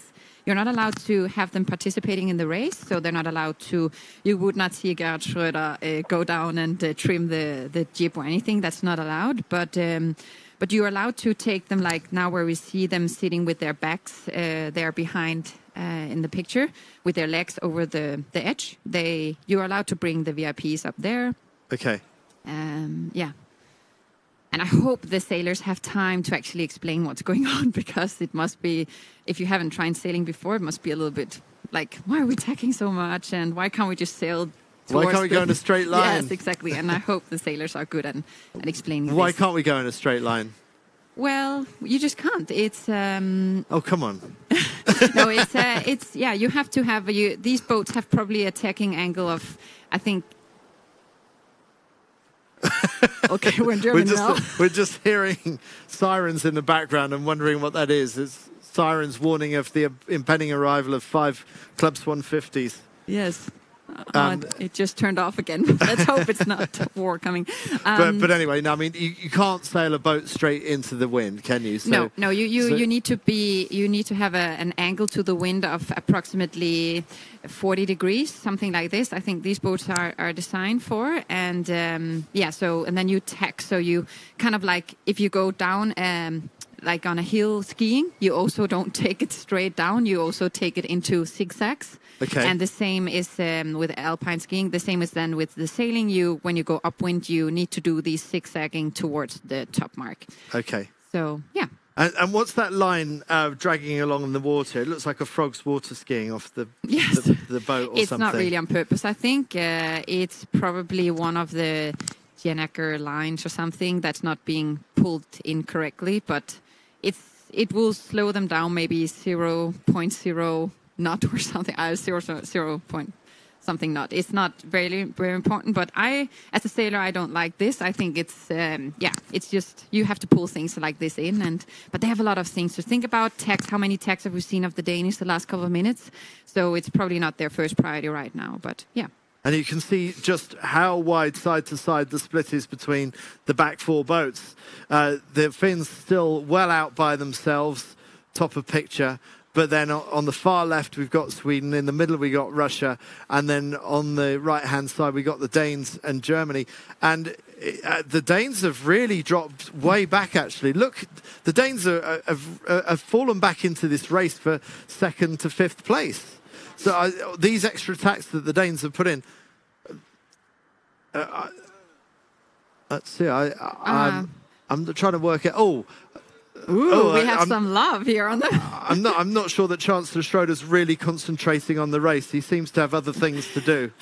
I must. I actually, there's also one of the slogans is connecting Baltic through love, and maybe this is the situation they are. Right. Well, Yes. no, no better advert for No, that than what we exactly.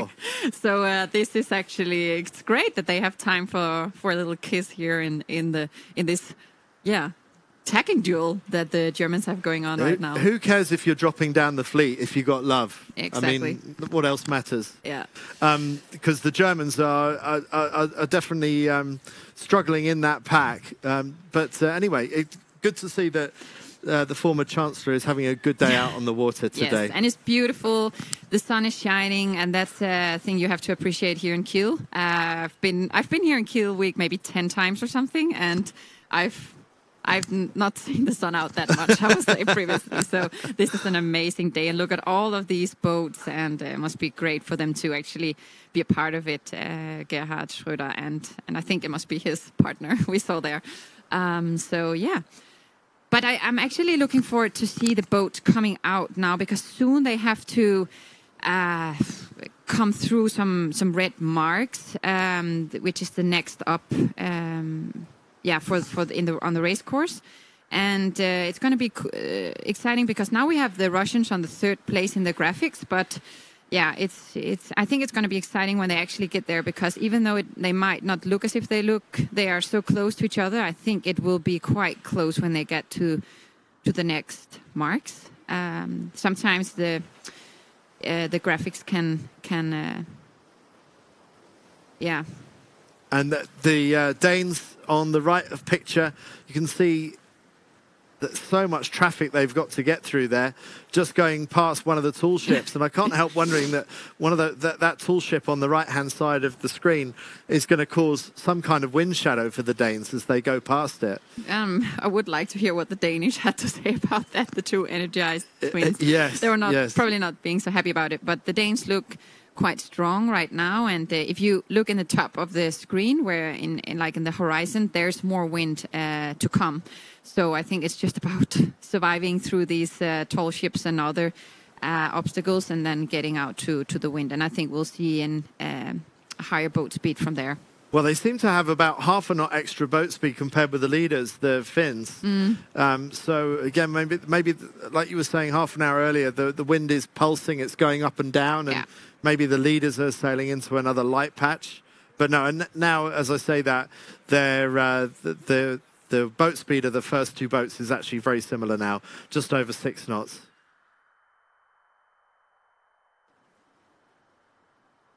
and uh, no one has managed to pick up those sheets. They're they're out of the water at the moment because they're on starboard tack. But when they tack, they're going to be dragging those sheets through the water again. So someone's not paying attention on board. No, and, and like now it's it's far from being this dramatic. But if you are slagging on this a lot, and for a whole offshore race, for example, it might come under the rudder, something like this. So it is very important to uh, to have a clean boat uh, to work with, and, and not having sheets in, in the water. That's a good point because uh, this is a twin rudder boat. So uh, especially when the boat leans over more than it is now, the windward rudder tends tends to uh, come out of the water completely. I would I would imagine that those rudders, when they're out of the water, are quite good at snagging loose sheets. Yes, yes, I, and there's more time for that as well. And we were, as we can see, the Germans have now overtaken the Danes, and uh, yeah, I, I don't think really. From his body language, I would say one of the blonde twins doesn't really look that happy there in the back, and you can see they're they're looking around. And as you said before, Andy, we had this tall ship taking their wind. I, oh, and you can see the boat is more bumping. Um, they probably have some chop there from all the traffic. So I think that that it is. Um, yeah, I think it's hard racing out there right now, and and I think an indication of how this how the like the focus is on board is their body, language. Before we had a lot of sailors standing up again. They're not satisfied. They need more wind. They need to trim something differently, and that's why a lot of people are are standing up in in the Danish boat right now. That's interesting that you can sort of tell what the mood is by the body language. I mean, surely if you if you were the ultimate machines, the ultimate um, sailing robots, you'd never be able to tell the difference between whether a team was winning or losing. They'd always look the same, wouldn't they? Yeah, I, I don't know. It's just it, it was it was clearly to see here on the Danish uh, guys that they were not happy about the situation, and but actually you should try to stay low. You should try to remember these things. But that's that's the stressful situation that they're in right now, and then they're trying to oof, see if they can change it. And um, yeah, the, typically you stand up to see what's the opportunity with the winds. Do we have to trim something differently? And yeah. It, it, looks pretty light from that angle. I don't know if that's just the angle that we're getting from the drone, but um, it looks like there's not a lot of wind for the Danes to play with there right now. No, I, I agree with you, and um, yeah, it's uh, it could be. Well, look at the gap as well. I mean, they they were in the they were in second place just mm-hmm. what two or three minutes ago, and now the Germans are more than hundred meters in front of them. So something's going badly wrong for the Danes right now. Yes, and I don't know if it's something better out there on the right side because the Swedes, when they had the tacking duel with the Germans before, we saw that the Swedes, Swedes were winning a little bit on the right, and I think the Germans are on the right side now. Um, so maybe the wind might be a little bit stronger to that side. It's difficult for us to say here on, on the screen, but but uh, yeah, it is. Um, well, it seems like the, the, boats we're looking at now are in better wind yes, than what exactly. the Danes are in. But you look beyond them towards the shore, and it looks like there's a real light patch there, and, unless that's a shallow spot, and it's all a bit deceptive with the with the with the different depths of water. But um, it, it, does seem like the leaders, the the Finns and and the Germans, have better breeze than the Danes, who are sort of beneath our picture, if you know what I mean. Yes, exactly. So this this right side for for the sailors have have definitely or looks for us as if it's been definitely better. So here we're getting some in the picture, some sailors. I think it was the Finnish ones heading out here of the, the bay, as we can see, or the the Kieler Canal towards the Kieler out here uh, to Schilksee, where we are. Yes, that's right. Um, so uh, they're probably, I would guess, they're maybe just past the halfway stage of the race now and they're just coming into view of where we are in our commentary position, but still some miles offshore from where we are. But the Danes are closest to our commentary position, the Finns further towards the, uh, the shore on the far side of Kiel Bay. But the, the, uh, the Swiss are now way sorry swedish are way way way I at was the like, back what did sorry. they join the Norwegian race mixing my flags up no no um, it's okay but uh, no, the, the Swedish have gone badly wrong somewhere because they are now more than 200 meters behind the Russians. And you, th- you think that the, uh, the, the Swedes were racing with the Germans not so long ago, and, and something strange has happened to them in a very short space of time. Yeah, it's and the Russian has has done a great job lately catching up. Where they're actually almost, or they're close to the third spot now. So it's it is it's actually going to be quite exciting this last uh, beat out of um, towards the finish line because it's um, yeah it's you can see here even though the graphics they're not that far apart. I know it's uh, it's 300 meters but uh, from from from the first to the last approximately. But uh, yeah it's it's gonna be uh, there's still a lot of racing to do in he ahead of them and and they they need to keep focused. But the Finnish, I must say, I, I, want to give them some credit and say they've done a great job. It's not easy leading in these light conditions. Um, you might think it's easier because ah, come on, uh, they're in front, they can just. But when people split behind them, we've seen that a lot. It's oh, should we follow the uh, one team or the other one? And they have just followed their heart, and and uh, and and as, yeah, it looks as if it it has paid off for them to have great tactics. Uh, no one has really managed to threaten them yet, have they? I mean, they've uh, really look quite strong throughout, whereas the, all the other four have been changing places on a regular basis. Yes, true, and and they're having this stable uh, lead of approximately 250 meters, um, which shows that yeah, they're, they're having a little bit their own race. They're in the front of the course, and then the rest of them are having their own party.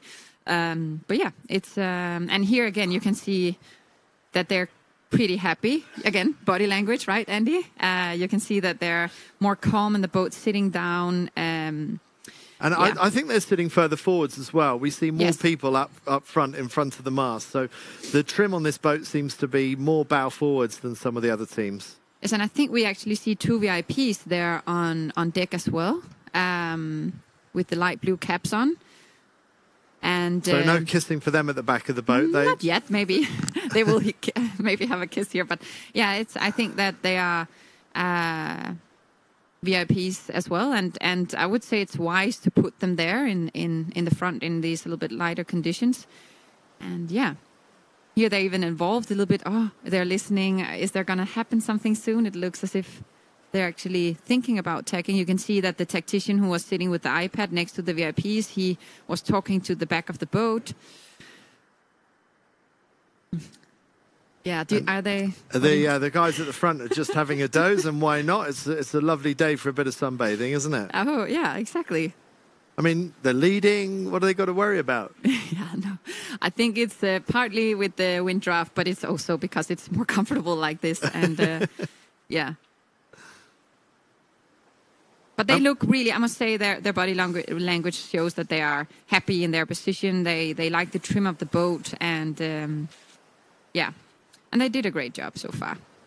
And that pole sticking out the front of the boat, what's that for? Yeah, it, what is it? I, it looks like a, a toothpick or something. No, it, it does, it, doesn't it? Yeah, it's uh, it's for the Gennaker, the the asymmetrical spinnaker that these boats have um, to get it more away from the boat. You can also have it hoist one without, but it's way better with this uh, bowsprit in in the front. And um, yeah, but the, some in the J70s, as we have been talking about before, you can actually pull it out and in again but in, on these boats, they are permanent out there and super strong. So, so that's flying the Gennaker, which is the biggest sail on the boat, but they're not using it today because this is an upwind race. And yes, we might see it later, or we will see it later in in the next inshore races, because then they will have um, more up and down. So it will be wind from coming from uh, first in the from the front of the boat and then in the end from the in the back of the boat or and that's when they will hoist it um,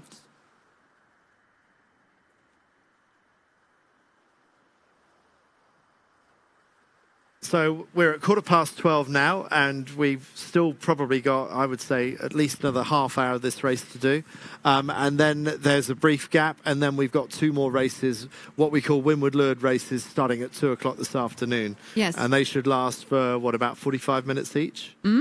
Yes, something like that. And. Um, They'll be uh, more hectic than this race, won't yes, they? Yes, it more will maneuvers. Be, yes, it will be more like a normal up-down course, as we call it, where you have a regular start line and then you have to go around the course up and down for a couple of loops. We'll, of course, talk more about that later. But um, yeah, more action, more maneuvers, and um, more tight racing. So yeah, looks as if this team is making ready for attack shortly. The VIP's got the legs off the side.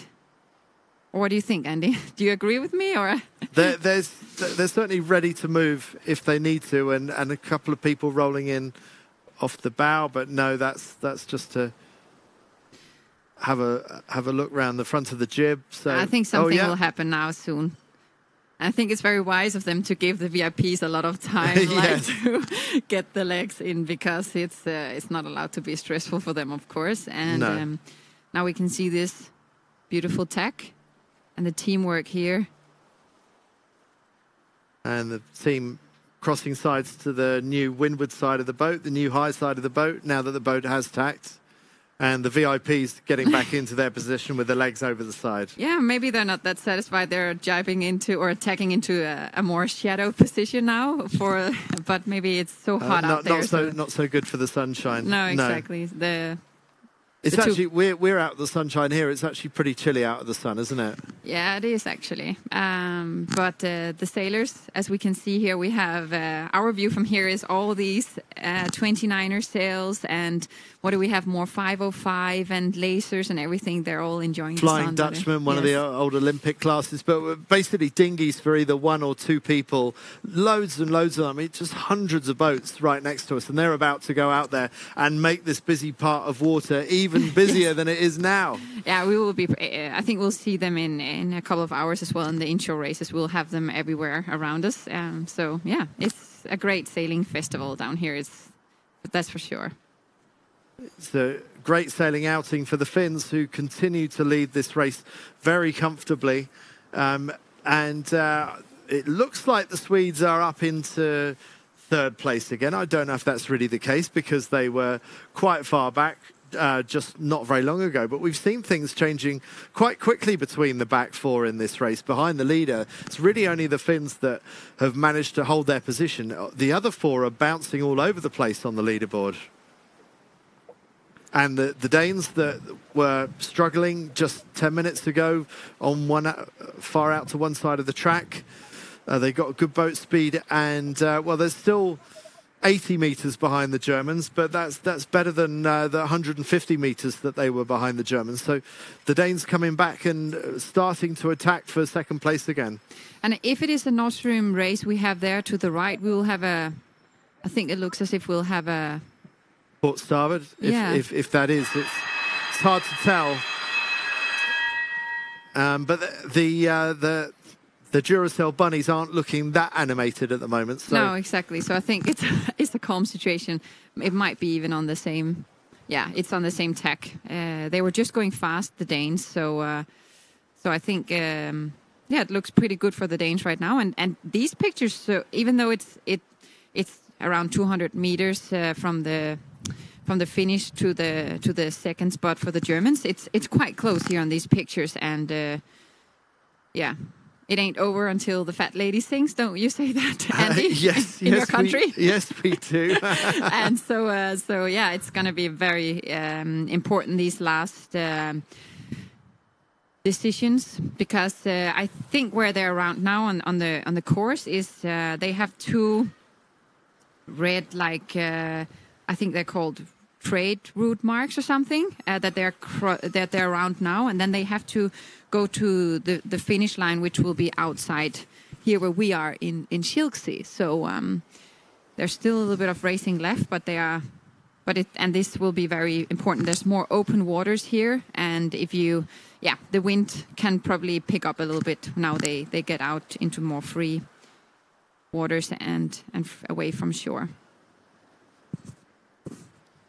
There's the Germans, and at the back is Chancellor Schroeder and his special friend, the two VIPs on board the German boat. And in the back of the boat, we see this tall ship. What a contrast, right? Yes, but uh, maybe they share some kind of heritage. Um, maybe the tall ship in its day was the Club Swan 50 of its day. Look, and it even has a bowsprit as well. Yes. in the front of uh, of the boat. And, nice, um, nice shot by the camera there to Yes. capture two bowsprits right, right next to each other. Definitely. And I think the German teams look. Uh, the German team again. I'm I'm talking about the body language. We don't have any sound on, on the boat, so we have to guess here. Um, and um, but I think they look quite happy in their position now. Now that maybe they're gonna make ready for some. No, they're they're moving their body weight forward, as we talked about. That's a trimming possibility. So that suggests the wind is dropping a little bit and coming down. They're further forwards they move in the boat, the less wind there is. Yes, yes. So. Um, Oh, Wow, and, and the other pictures. boat that's that's gone behind the tall ship, that's got to be a bit of a loss in terms of losing um, out on the wind shadow of that tall ship. I might even think that's the Danes who they're battling against, or maybe Oh, not. I think no. So I think that might be the Russians. That down the the leeward boat. Now we're on board with the Danes, and th- this is the other side of the tall ship. So the, the Danes trying to get acro- across the front of this tall ship. Will they be able to do that? Is that the tooting we hear? You think? Are they going to say like, "Get out of our way"? At least there's some talking on the Danish team. They think they need a, they need to do something. Oh, there's some. I love that we can hear these Danish guys. They're They're the only ones that we Yeah. can hear. Um,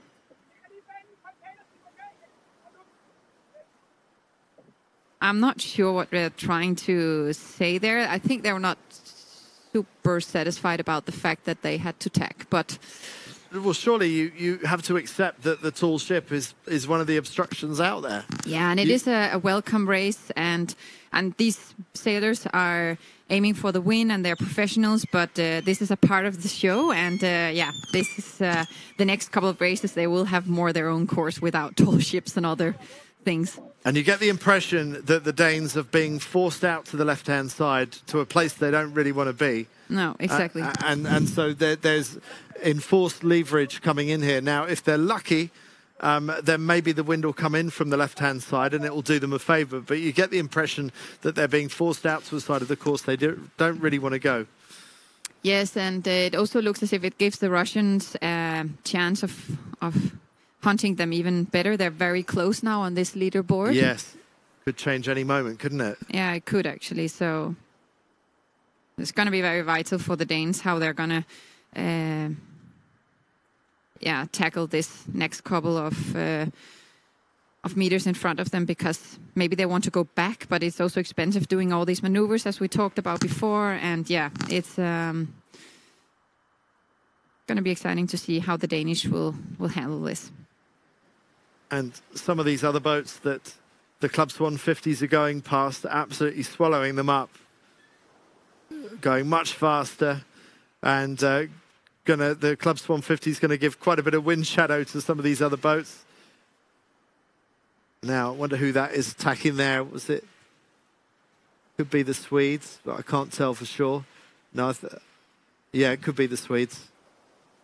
Here we have the the Germans, who yeah we were a little bit surprised about their split early on in in in the Bay of Kiel or in yeah, and now they are actually uh, they've done a great job here the the last uh, half an hour and uh, are now on on the second spot.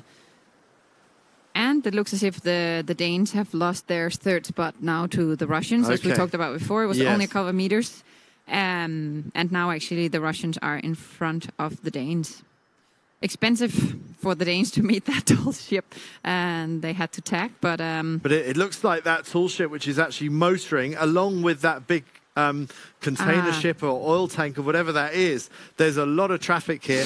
The Russians are going to end up the wrong side of that oil tanker, and I think the Germans will as well. So the Germans might even be forced to tack away by the tanker. So th- this shows you just how challenging it is out here. There's so many unpredictable things. yes, Who's, who's to know exactly where that tall ship is aiming? Where is that tanker aiming? I, I can't help thinking that tall ship could do the, the race a favour by just slowing down and and just uh, staying out of trouble a little bit more. Um, I mean, I think maybe that's what the uh, the the Duracell bunnies were getting animated about. yes. Was uh, can't you just keep out the way? Can't you see we got a race going on here? But you know, being able to um, adjust to changes is one of the most important thing in sailing. Uh, we talked about it uh, previously about coming from the J70s into the Swan. That's a change. Uh, we we talked about that you go from inshore races to offshore races all the time in the Nord Stream race. That's changes you have to adjust to. Um, you get more wind, less wind. That's like on short term, super many changes you need to do on a day. And this is also a change you need to take into consideration and into your plannings. And you just need to swallow it. You know, you, you can't be mad about it for too long. It's it's a part of the game, and and uh, yeah, it's. I think that's the sailors are a good sailor at least is good at at um, at tackling these situations. Um, the uh, the British Olympic sailing team they have a, a phrase. I'm sure many other people use it Oh, as well. tell me, they're quite good. C- Yeah. control the controllables. Yes, exactly. So, in other words, only control that which you can control, and all the other stuff that bothers you. If you can't control it, don't worry about it because there's nothing you can do about it. exactly and that's uh, that's um, my point before that yeah sailors are getting more and more used to to this that you have to put it behind you and just fight on and um, yeah And from our commentary position, we can see that tanker. It is absolutely enormous. Yeah. And we can see that tall ship that's still motoring along. And uh, those are two massive windbreaks that these uh, teams are having to try to sail around. And, um, well, in the case of the tanker, you wouldn't want to be anywhere near it. and we were all the time talking yeah here we have them all in the picture it looks trafficked for sure traffic jam but uh, but um, we were all the time talking about that there would have been we expected it to be more winds outside the uh, the little channel into Kiel um, but uh, I must say now they have actually less speed than inside the, the bay. We're more down in five point something in knots and uh, of knots of boat speed. So, and you can see more and more people are sitting to the leeward side of the boat here in the German team.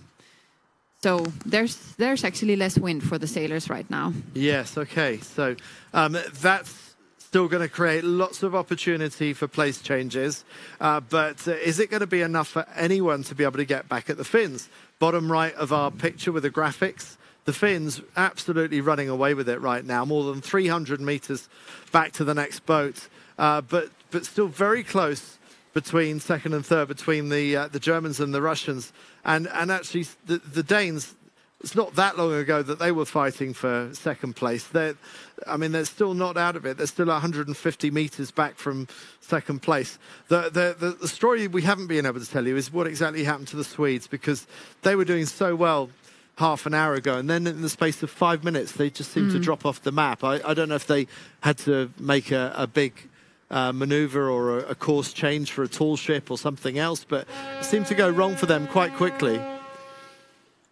Yeah, as we can hear in the background, we have some traffic out, uh, traffic going on out there, and and some of the bigger boats not being super happy about small, what they would call dinghies, these Swan 50s laying in the way for them. So so there's some tooting out there, but and I think uh, I think you're right. The Swedes probably had to avoid some some boat there. Um, but the Finnish are looking so strong. Um, now a little bit of less speed, but but yeah, they are clearly in in front. Uh, on board with the Danes, wondering where the next opportunities might lie. In uh, in Britain, we have a we have a game. Um, no one else has ever heard of it. Snakes and ladders. Have you heard of it? yes. Oh, you have heard of it. Yes, I have. But I Yeah. think we had a, a like a, a drill in sailing that was like this, right? Isn't that like this? Like uh our Um, coach made it to a. Well, I'm not aware of it being a, a sort of a drill. It, Okay. it's, it's basically just a, a, a board game where you, you, you shake the dice and then you see how many moves forwards you make. And if you're lucky, you get to climb up a ladder. If you're unlucky, you, you shake the dice and uh, uh, it's a five or a four or whatever. You have to move four or five places and then you end up sliding down a snake. Yes. That's sort of what it is. That's what it's like out there at the moment with all this traffic. So easy Mm. to slide down a snake out there. But do you you want to learn a Finnish expression now since they are in? Yes. I, I can't Yeah, speak that would be Finnish, much but I more can, relevant. Yes, Yeah. I can. I can. Uh, I can't speak Finnish, uh, but I um, I know this word sisu, which means. Uh, it's like an old traditional Finnish word that means like fight, uh, fight to the end. And now we have the Russians here, but it was against some war many, many hundred years ago against the Russians. They invented this word, and it means like just fight. And and the Finnish have taken this through their culture, and it's like when it's super dark in the winter because they almost don't have light in the winter. Um, they are like they have this sisu, you know, they are right. fighting for everything. So in the sports and everything, they have sisu. It means like fight. Okay, so I it's like a pretty, it. it's- Sisu. yeah, sisu. It's quite a soft word. yeah, but they, you know, the Finnish, they say it like this, sisu, like something like this. I don't know. I, I don't, I'm sorry if my it sounds if we have any Finnish viewers out there. it. Yeah, yeah. no, but it's it is like, um, and I think that uh, I was actually asking them yesterday, do you have a lot of sisu on board? And they said, yes, yes, we do. Of course, we're Finnish. So uh, yeah, it is a Finnish thing, and yeah. And uh, you're going to be following the race um, all, all through the course of the next two weeks. Yes. It's a little bit shorter, the, the overall length of the race than last year. So it's still the same distance, a thousand miles. So, so where have they made up the, the time? Uh, here in Kiel, for example, last year they had more training and more uh, inshore races. This year it's only uh, put down to one day of inshore races, which is today, and then um, and then less days of training as well. And then they will have. Uh, I think like uh, instead of going, for example, from Copenhagen in the morning, they will go the evening before. All these they have maybe taken a half day uh, some of the stopovers, and in that way they've made it shorter. And I think it's it was a request from the sailors. It was a very long race, and some of the sailors have regular jobs besides this, and for them to be able to to take off from work and and, and say to the family, "I'm going to use all my summer holiday on the Nord Stream race," wasn't that popular. So I think that uh, that they've shortened it down for for for that reason. Um, Okay, well, it's still quite a long race, isn't it? Two weeks is still quite a long It time. is, and uh, racing these thousand nautical miles from Kiel and then through all the stopovers to St. Petersburg is the biggest offshore race we have in, in the north of Europe. So, so yeah, it is uh, it is a long race, and uh, I yeah, you experienced it last year as well. The sailors are very tired in the end in St. Petersburg Yeah. for two weeks a row in a row. They haven't slept uh, enough. Um, they probably haven't eaten enough either. So they're very um, yeah exhausted when they come to St. Petersburg. Happy and exhausted because they've had a great experience on the way, but it's been demanding, of course, and challenging. And when we arrived last year in St. Petersburg, it was in the middle of the, the Football World Cup as well. And yes, true. One of the semi finals was just a, about to take place in St. Petersburg. And there was a, a great sense of um, uh, internationalism there, wasn't yes, there? There yes. was so many tourists. And, True. Um, and we discovered that you even need a visa to, to, to, get into Russia as well. We could go into that story a little bit. Yeah, later Andy on. has uh, has a great story there about me. you can use. Yeah.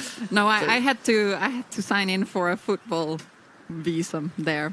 Visa in. in well, we'll, we'll come back if we have time. We'll come back to that story a little bit later. But but get, getting into to Russia, maybe this is why. Oh, hang on. What have you seen? What the, are you seeing? The Danish, the Royal Danish Yacht Club, with the Danish flag on, are on the last position right now. It's it's been a very very expensive last couple of, I would say t- maybe ten minutes for the Danes. They've gone from te- second to fifth, and uh, yeah. Super expensive. And another thing I think that's a little bit a tendency is that the Finnish are all the time lower in speed. Uh, right now they have uh, five point yeah five knots and the germans have 6.3 and in general i think we see more five point something on the finnish and and the and the germans and the russian we see more six point something. So this could make it a little bit exciting for the first spot as well. And we only have 150 meters uh, apart now and getting ah, no yeah. It's it's at least the the germans have caught in on on on the finnish team. So yeah changes are happening out there right now the Finns seem to have managed to avoid the, the worst of the traffic out there. That we haven't really seen them around any of the tall ships or the tanker. I, I don't know how much that's skill and how much that's luck, but things seem to be going their way. Um, but uh, now it's the Swedish who are in, in at the back again. But yeah, the Danes have really suffered in recent times, haven't they? Yes, they have. They have definitely been in some uh, traffic jam and were forced to tack in a place they didn't want to. And here we actually can see a super good overview of of the winds where the Finnish sailors are now. There's not a lot of wind, but more to the right side of the picture. There's more wind, so um, it's it's definitely it's also a question. It's not only a question about the traffic. It's also a question about hitting the puffs and. Um, and getting them. That might be why the Finnish were slower. This puff we see in the back of the picture might have been the one that's like died out, and um, and the Finnish are now up in the same speed as as the ones behind them. So. Yeah, as we talked about before, if you have the puff and it leaves you, the one in the back will still have it. They'll have the speed, and then yeah, it's it's going up and down all the time. Well, things going nicely the way of the Finns. Let's find out a little bit more about them in the uh, video clip that we caught with the Finnish team.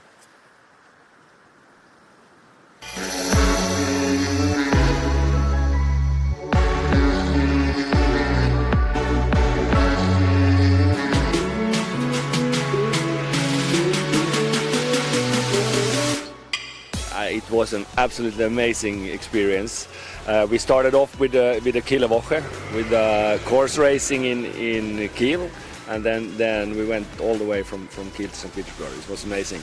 Uh, of course, it, that is, is a great honor. It's, it's a great honor for the club to, to, to win the Champions League and, and get the possibility to, to join the Nord Stream race and, and then to, to sail through the, the Scandinavian countries under the flag of Finland. That, that's it, it's really cool. We, we learned a lot last year, and and uh, there there are, are people on board that, that, that was also there last year, and we also so recruited some, some really good offshore sailors from Finland to, to take with us. So I, I think they, they are, are better prepared than ever. I think it's uh, uh, it, it's a fantastic event uh, with, with what's happening in all the harbors with, with the, the import races. That there is a lot of spectators looking at this, and, and, and when we sail the boats with, with the flags in the in the mainsails, and, and I think it's it's re- really uh, excellent way of, of, of joining the, the Baltic countries.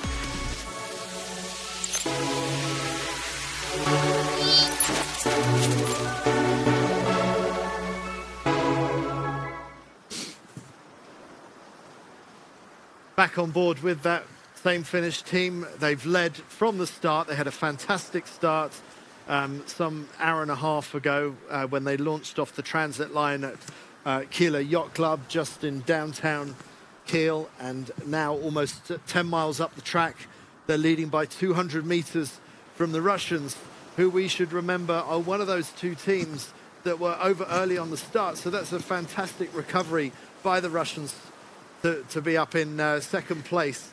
Um, we've also got a video of the uh, the Russian team who were new to the Nord Stream race. It was the Russians who won last year, but it was a different set of Russians from a different sailing club. Let's find a little bit more about the Leviathan sailing team.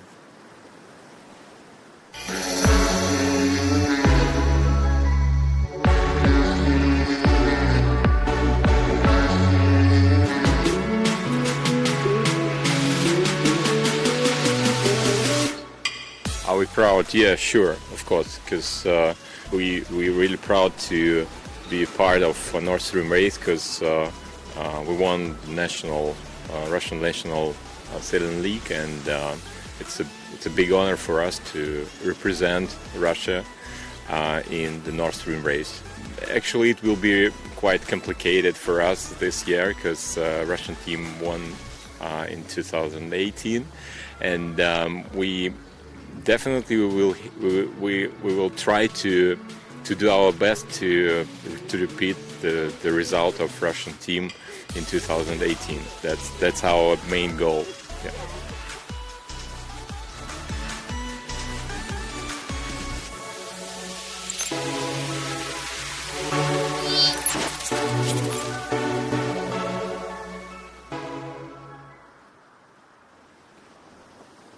So the Russians are feeling the pressure of uh, having to live up to the expectations of being the defending champions, e- even though it's not the this set of Russians that are defending the title. It's it's just the feeling of, of needing to, to keep it going, and, and obviously the, the Russian involvement and connection in this race is is strong. Uh, St. Petersburg Yacht Club. Uh, being the organising yacht club of the Nord Stream race, and Yes. it's where the race finishes. So, so many, many reasons for the Leviathan sailing team to want to maintain the the uh, proud tradition of Russia winning this race after such a strong showing last year.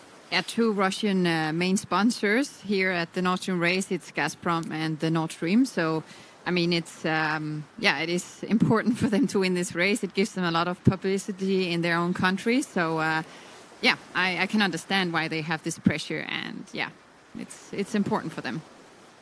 Um, now, the Germans, they've been uh, bouncing around the middle of this fleet today. They did really well in the inshore last year, not so well in the offshore. Um, they- they're showing signs of, of being good in the inshore again today. Let's find out some more about the German team.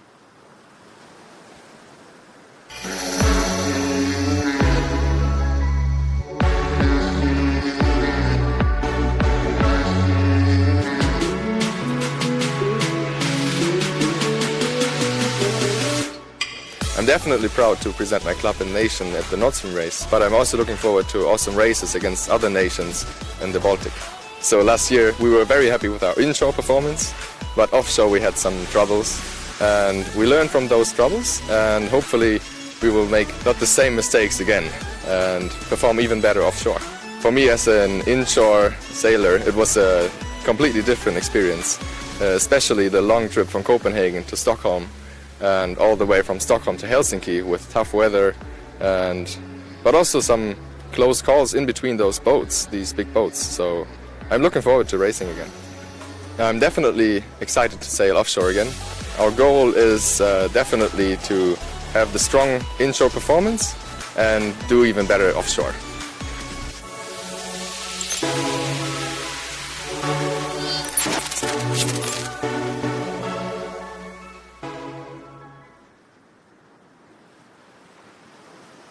Germans racing along on port tack at the moment. Looks like the traffic has eased up a bit, maybe more out into open water, fewer boats to navigate. From our commentary position here, it's busier than ever. You don't get the sense of that in, in this particular shot, but uh, uh, it looks like finally the Nord Stream fleet is breaking out into clearer water and it's back to a five boat race than rather than a 1,000 boat race.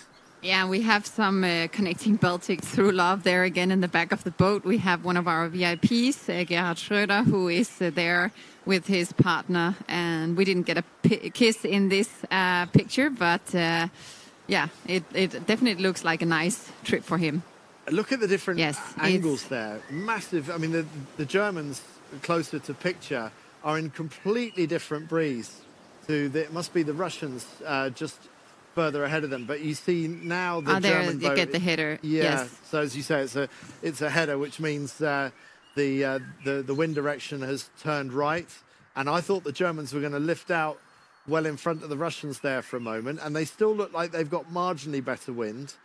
But, yeah, the the Russian ha- the Russians have done a great great job, and um, they really showed that even though you have a really bad start and starting off at the last one, it's it's about fighting until the end. Because I mean, now they're on the second spot and only 50 meters away from the leading boat, Finland. That's the that's the only one we have seen have been a threat so far for the finish. So. Uh, this is really good. Oh, it goes a little bit up and down there. I can see in the meters, but yeah, this is a great job from the, from the Russian sailors. Here we have the, the German team, two persons down to leeward, trying to avoid any wind. It looks like a pretty easy life down there, doesn't it? Yeah, it looks pretty nice. Shorts on. They're on the sunny side. Everyone else is in the shade.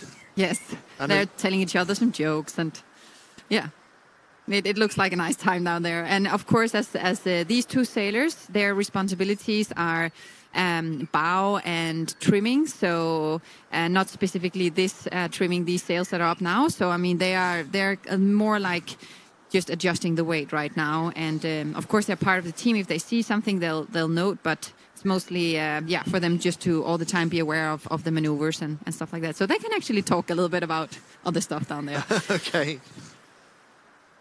Only 18 meters right now, says our graphics, is uh, or 30 right Oh, now. Hang uh, on. between, Yeah, I mean, what, are those distances really real? Because that's a lot for Åländska, Orlandska Segelsalska Pet to worry about if that really is the case. yeah, We yeah. can't see them in shot, so I don't, I don't know where they are. No, I yeah, it's gonna be exciting when we maybe get them in the shot as well. But but definitely the wind has dropped. Look at the water; it looks way more glassy now, and uh, and also the um, yeah we have we have more sailors sitting to the leeward of the boat. Uh, the, you can just see how the boat is moving through the water. There's less wind, so uh, yeah, it it looks really tough out there. And and also before we saw a header, what was that? Maybe like 20 degrees or more. Um, so it's uh, there's a lot of things to work with for the sailors out there right now. So it does seem like the wind is dropping lighter the further out to sea they get. The, Yeah. the breeze actually in here by our commentary position on shore is, is quite good. So the small boats are sailing in quite good breeze a, a- a mile or so further inshore, but out to sea seems like the breeze is dropping out. A couple of sailors moving higher up to the other side of the boat, so that suggests that a gust has just come in and they got a little bit more wind now. And here we see, I think, some beautiful pictures of uh, the two trimming um, positions. Right now, we have the guy uh, with his hat on who was trimming the front sail, and the other, we had another guy sitting there in front of the, the helmsman who was actually. Oh, we have some more hugging. I really like that they. That they, that yeah, they, we, we they- don't normally get to see that kind of thing No. until after nine o'clock in the evening No, on, on British. TV. So I, f- I feel quite fortunate. Yeah, and I think the camera guy must feel the same because he is really like enjoying getting that picture. So uh, no, it's it's great to see that uh, that it is um, yeah that that it's so like this is what we call champagne sailing. Like it's the best conditions. It's sunny. It's a little bit middle light wind, um, warm. I mean. Yeah, they only needed champagne there on the back of the boat as these two VIPs. It would have been champagne sailing. So uh, I, I'm happy to see that they are enjoying these um, Nord Stream inshore races. Well, the, the power of love seems to be doing wonders for the Germans. I mean, they, they are certainly moving further up and uh, starting to, to threaten the Finns. Maybe there, there needs to be a little bit more of that loving feeling on the Finnish boat right now. Yeah, yeah, definitely. And and I'm like right now with the graphics, I must say I'm quite excited to see when they approach the finish line because if you see the Danes all the right, uh, all the to the right bottom of the of the, they're almost in a straight line. The Danes, the Finnish, the Germans, and the Russian. Yes. Yeah. Uh, to the left, uh, yes, corner to. Uh, to the bottom of yeah, so it's going to be exciting because I, maybe it, it looks as if the Danes are actually, going to be able to be in the battle of, of these leading boats? Well, they've got massive leverage, so that means that being so separated from the rest of the fleet could go really well or really badly for them. At the moment, um, the leverage is coming in the uh, the Danes' favour. They, they they show signs of being able to get up into the, the, the top two or three again. And, and, suddenly we see the Danes up into into second, and now they're back down to fourth. And I I think that's an indication that the um, uh, the graphics will all the time adjust to the course, and it, I think it will actually. Um, it's an indication that, that we will have a quite close finish here between the Finnish in the lead still, but the Germans and the Russians and the Danes are actually going to have a battle. Um, so it will be exciting, actually. Woo, woo. Uh, no, and, and, the Swedes are, are, yeah, not that far uh, behind, and they had some moments before of glory where Sandra Sandqvist, their tactician, made some super good calls. So maybe they look as if they're far behind now, but one or two good calls the next. Uh, half an hour to an hour until they're in the finish line will actually maybe um, help them um, and, and, get them forward in their position as well. So the Finns managing to hold on to this lead by the skin of their teeth, but occasionally you see the Germans looking like they might be getting up into the lead. And as we've just been talking about, this this broad separation between the front four boats means that uh, depending on how the wind swings, it could really move in the favour of uh, Russians at the top of the picture or the Danes on the far left-hand side of the course.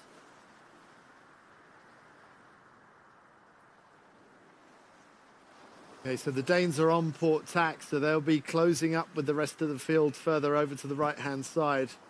And uh, we can normally tell how things are going by how much the uh, the Duracell bunnies are bouncing around on deck.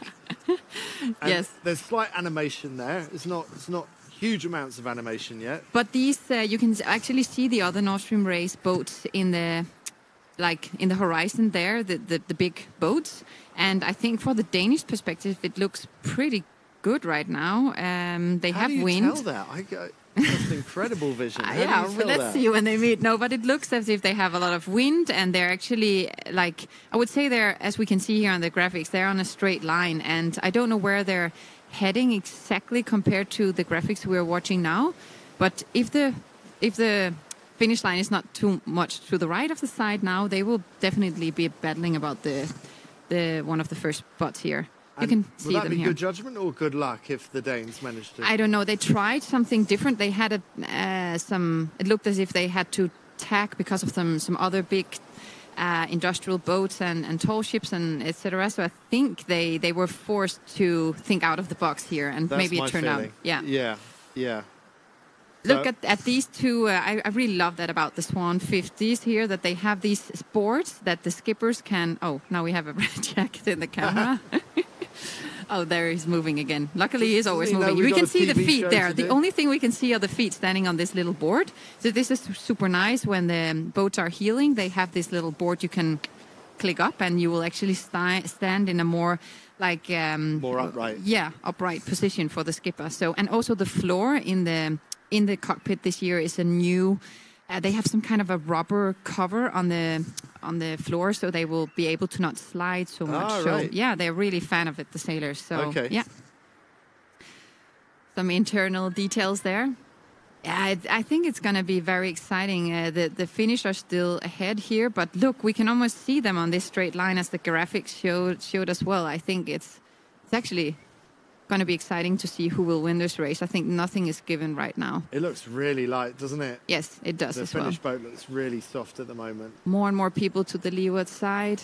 That boat top of picture, whoever that is, they look like they're in a little bit more breeze there. Yeah, I think it was the Germans or the Russians was out there, and So Germans and Russians at the top of the picture. Yeah. And the boat coming towards the Finns now, that would be the Russians, I think. They they look at li- little bit more heeled over. Looks like they've got a bit more breeze as they approach the Finns. And the Finns, I think, are looking quite vulnerable here. They're looking a little bit dead in the water. Not much they can do about it. No, they don't look so happy either, do they? Again, body language, uh, Andy. That's what we got to work with. But, uh, But look, they we can got see- Sisu. Yes, they got Sisu, but they still you can see uh, trimming. Uh, they're definitely not happy about this their speed right now. One guy standing fully up and, and, and trimming there in the in the middle of the cockpit. Um, yeah, it, it looks as if they they're not quite satisfied.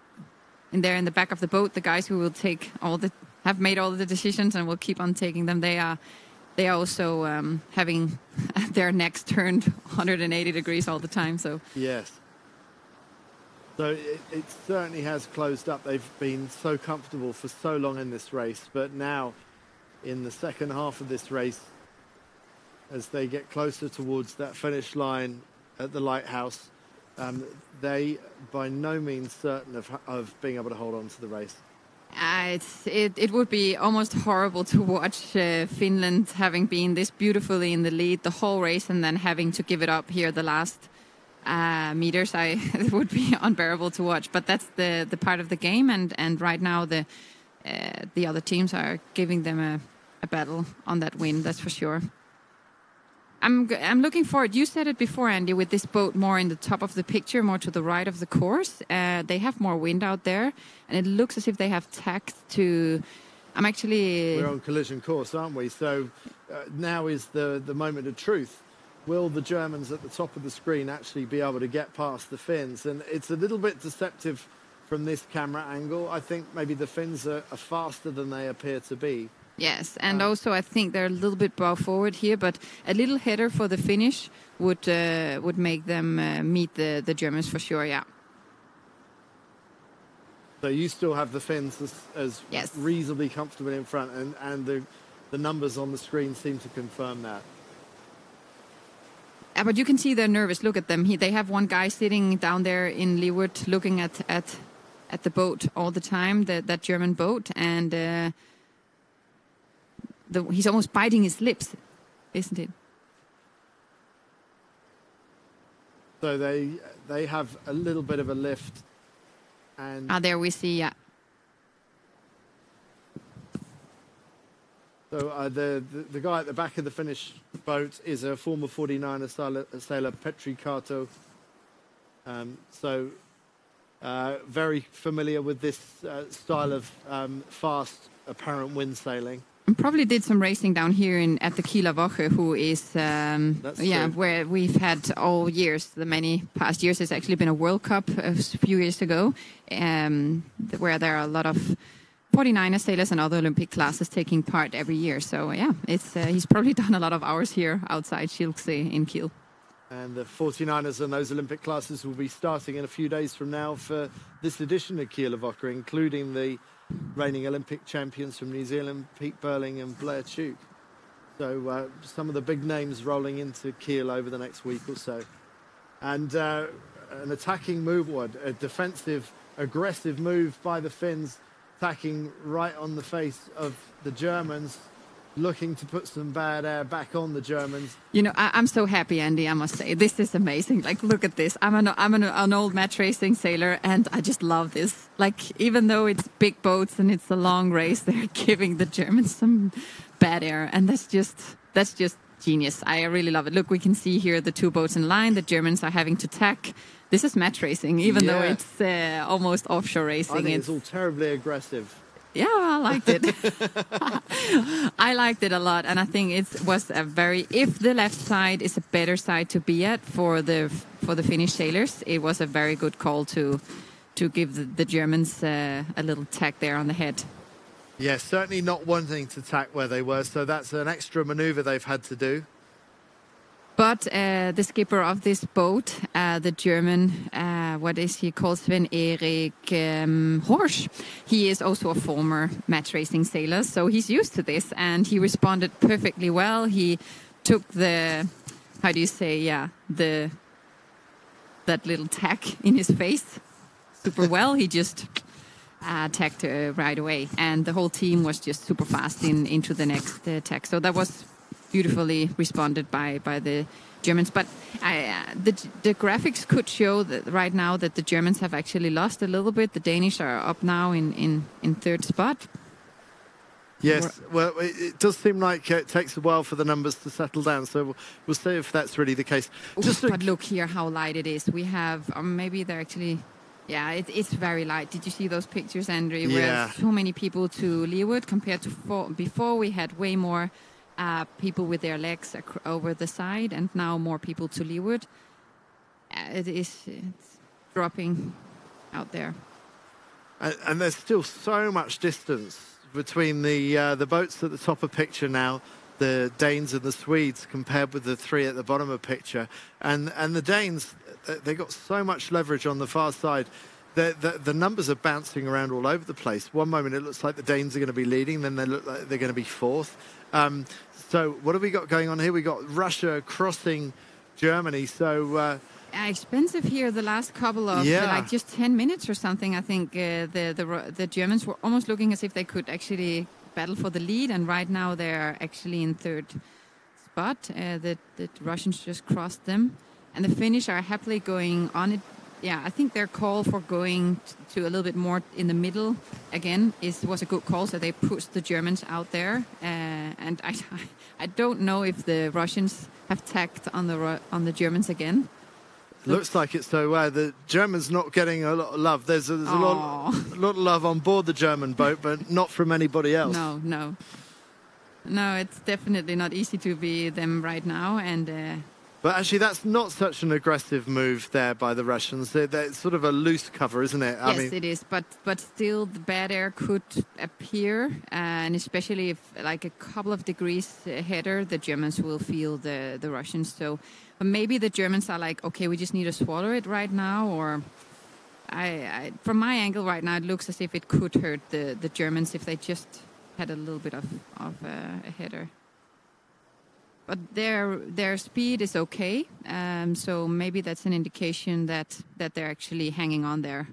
As you said, that the Russians had just covered them loosely. And it looks like the Russians might actually be in the lead right now. So considering that they were over early on the start, they had to go back round and restart from way back in last place, and now to find themselves moving up into the lead.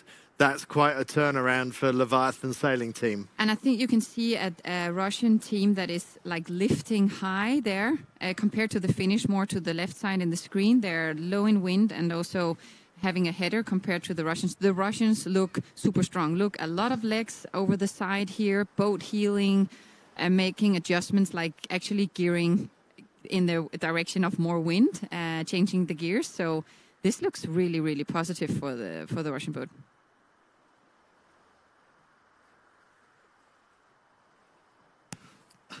Um, uh, it does look like there's a little bit more breeze on this side of the course. And, and, and you know, I felt a little bit sorry for the Germans there with this, uh, or I, I, loved it to see the match racing, but on the other hand, I felt sorry for the Germans, and this could be their way out of this. If there's more wind to the right side and a little bit of a lift for them, this could be their hope to actually get into the battle of, of the wind for them. Yeah, yeah. Uh, nervous moments. Uh, it, it's psychologically difficult for the Finns having led, and, and yes. they must feel like they've done everything right. And the, the, now it's it's partly down to the luck of the draw, isn't it? And the luck is going against them a little bit. And also the fact that, uh, as we talked about before, being the leading boat and having to like cover the ones behind you, but still make your own decisions. This is the toughest thing to do, and uh, and they like the the boats were splitting. We saw the Danes are still not in the picture here, together with the Swedish. They're somewhere else, and the Finnish had to be somewhere like not battling at all. And this is risk management, also one of the the things that uh, that we, uh, if we make a parallel to the business world, it's a very important thing for sailing as well, um, managing these uh, possible risks and and keeping your opponents behind you. So. I think actually the Finnish have done everything they could, but it might um, yeah, it might cost them a first spot. The Germans look like they've lifted out on the Russians. Um, so the Germans, from being th- threatened to fall into the bad air of Russia, it seems like the, the further over to the right hand side you are, the better the breeze that you find. So I wonder if this is a chance for the Germans to move back into the lead. Yeah, exactly. Um, and and there was definitely before in the picture we saw some more wind coming up. And these are some focused German sailors. They know they have a chance, um, and they were again thinking about their aerodynamics and, and everything. But I think in the top of the screen, it looks as if there's a little bit more wind coming down, but it is light breeze and a lot of traffic still. All these sails are creating some turbulence in the wind. And if it is the Finnish boat we have there all the way to the left in the screen between Yeah. some other boats, then Yes, they have definitely have more of the bad air from the other boat. So, yeah, the Germans are definitely a little bit more free air and. Um, And, and they're about half a knot faster than the Finns as well. Yes, exactly.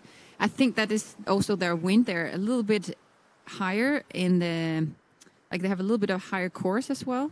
Yeah, I mean, wh- one of the things I've noticed, you, you can see it in this picture now. The German boat has its boom pulled so far up to windward. They, they've really got the um, Twist. the sail cranked Yeah. up to the top. But uh, yeah, maybe a, a lot of twist at the top. With so we're talking about the uh, the twist of the, the back of the mainsail. This So- is the pictures we are having now, actually up there, and this is what you create if you take the boom up uh, and crank it up. They you will have it open in, and this is um, super good in the light winds to create this this twist. And uh, yeah, maybe this is the reason, Andy, that they're actually. Uh, that they're actually trimming the boat a little bit better than the rest of the fleet as well. Well, they've really lifted out on those Russians from being almost on the same line as the Russians. They, they've look. You can see from the graphic there, they're on a completely different um, uh, course to the Russian, well, uh, line to the Russians now, having been dead behind the Russians. So they, they've definitely finding some height from somewhere, either either from better breeze or from better trim of the sail. But the Danes have now crossed behind the other boat. So now the finally the Danes have traded in on all, all that leverage. They wanted to check in with the rest of the fleet.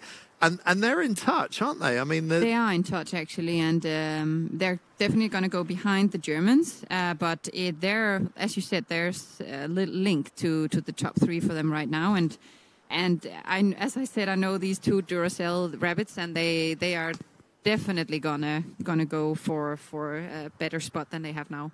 So uh, you can see that line of white boats at the right hand side of the picture, and there's a red mark. There's a red rounding mark. Well, that's what these are um, Club Swan 50s are aiming for as well. So we're reaching a pinch point in the course. So the Danes and the Germans on the left of picture are going to be on the layline soon, and they're going to have to taxi. But is this German boat going to cross this other boat? It's just about got away with it. But the Germans have to remember that even the other boats not in their Yes. race still have to be avoided when they're on port tack.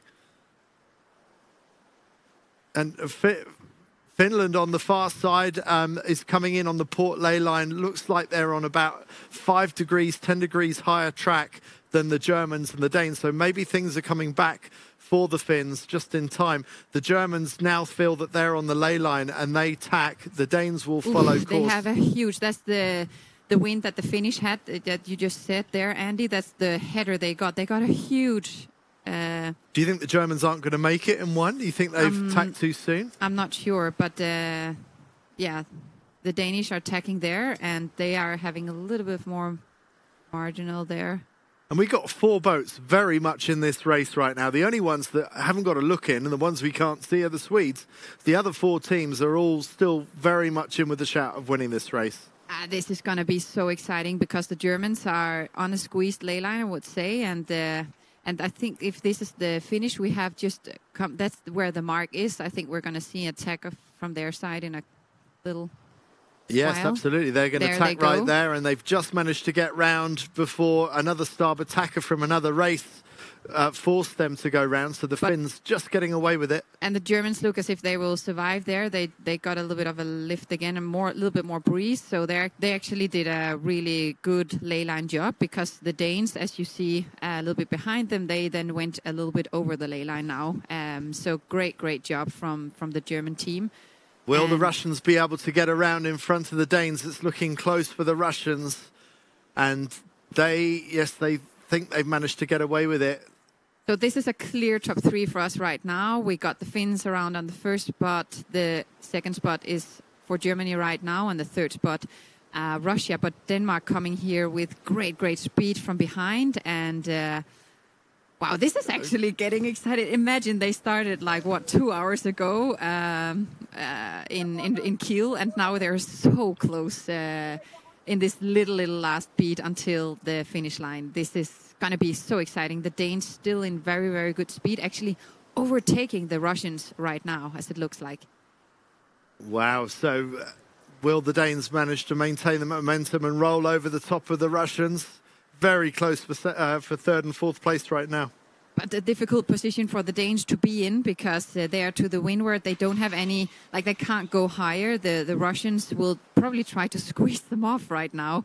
So again, some match racing going on, and uh, the Russians are the one in power here. They can just go a few degrees lower compared to the wind, and then they will gain more speed. So this is the Danish who, oh, they they are in trouble there. I would say. Um, Now, it doesn't look like there's too many passing lanes right now. So uh, the Finns are back in the lead. They briefly lost the lead to Germany.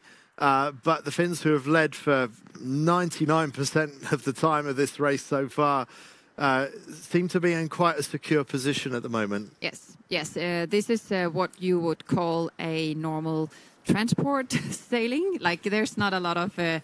Like as I understood, they just have to continue this course to the finish line. I'm not 100% sure, but there's not a lot to play with for the sailors. Um, so, yeah, I think we see them from our commentary position, um, and uh, it looks like they would just have just this final starboard tack to do across to the finish, which is next to a large red and white lighthouse, which will probably come into view.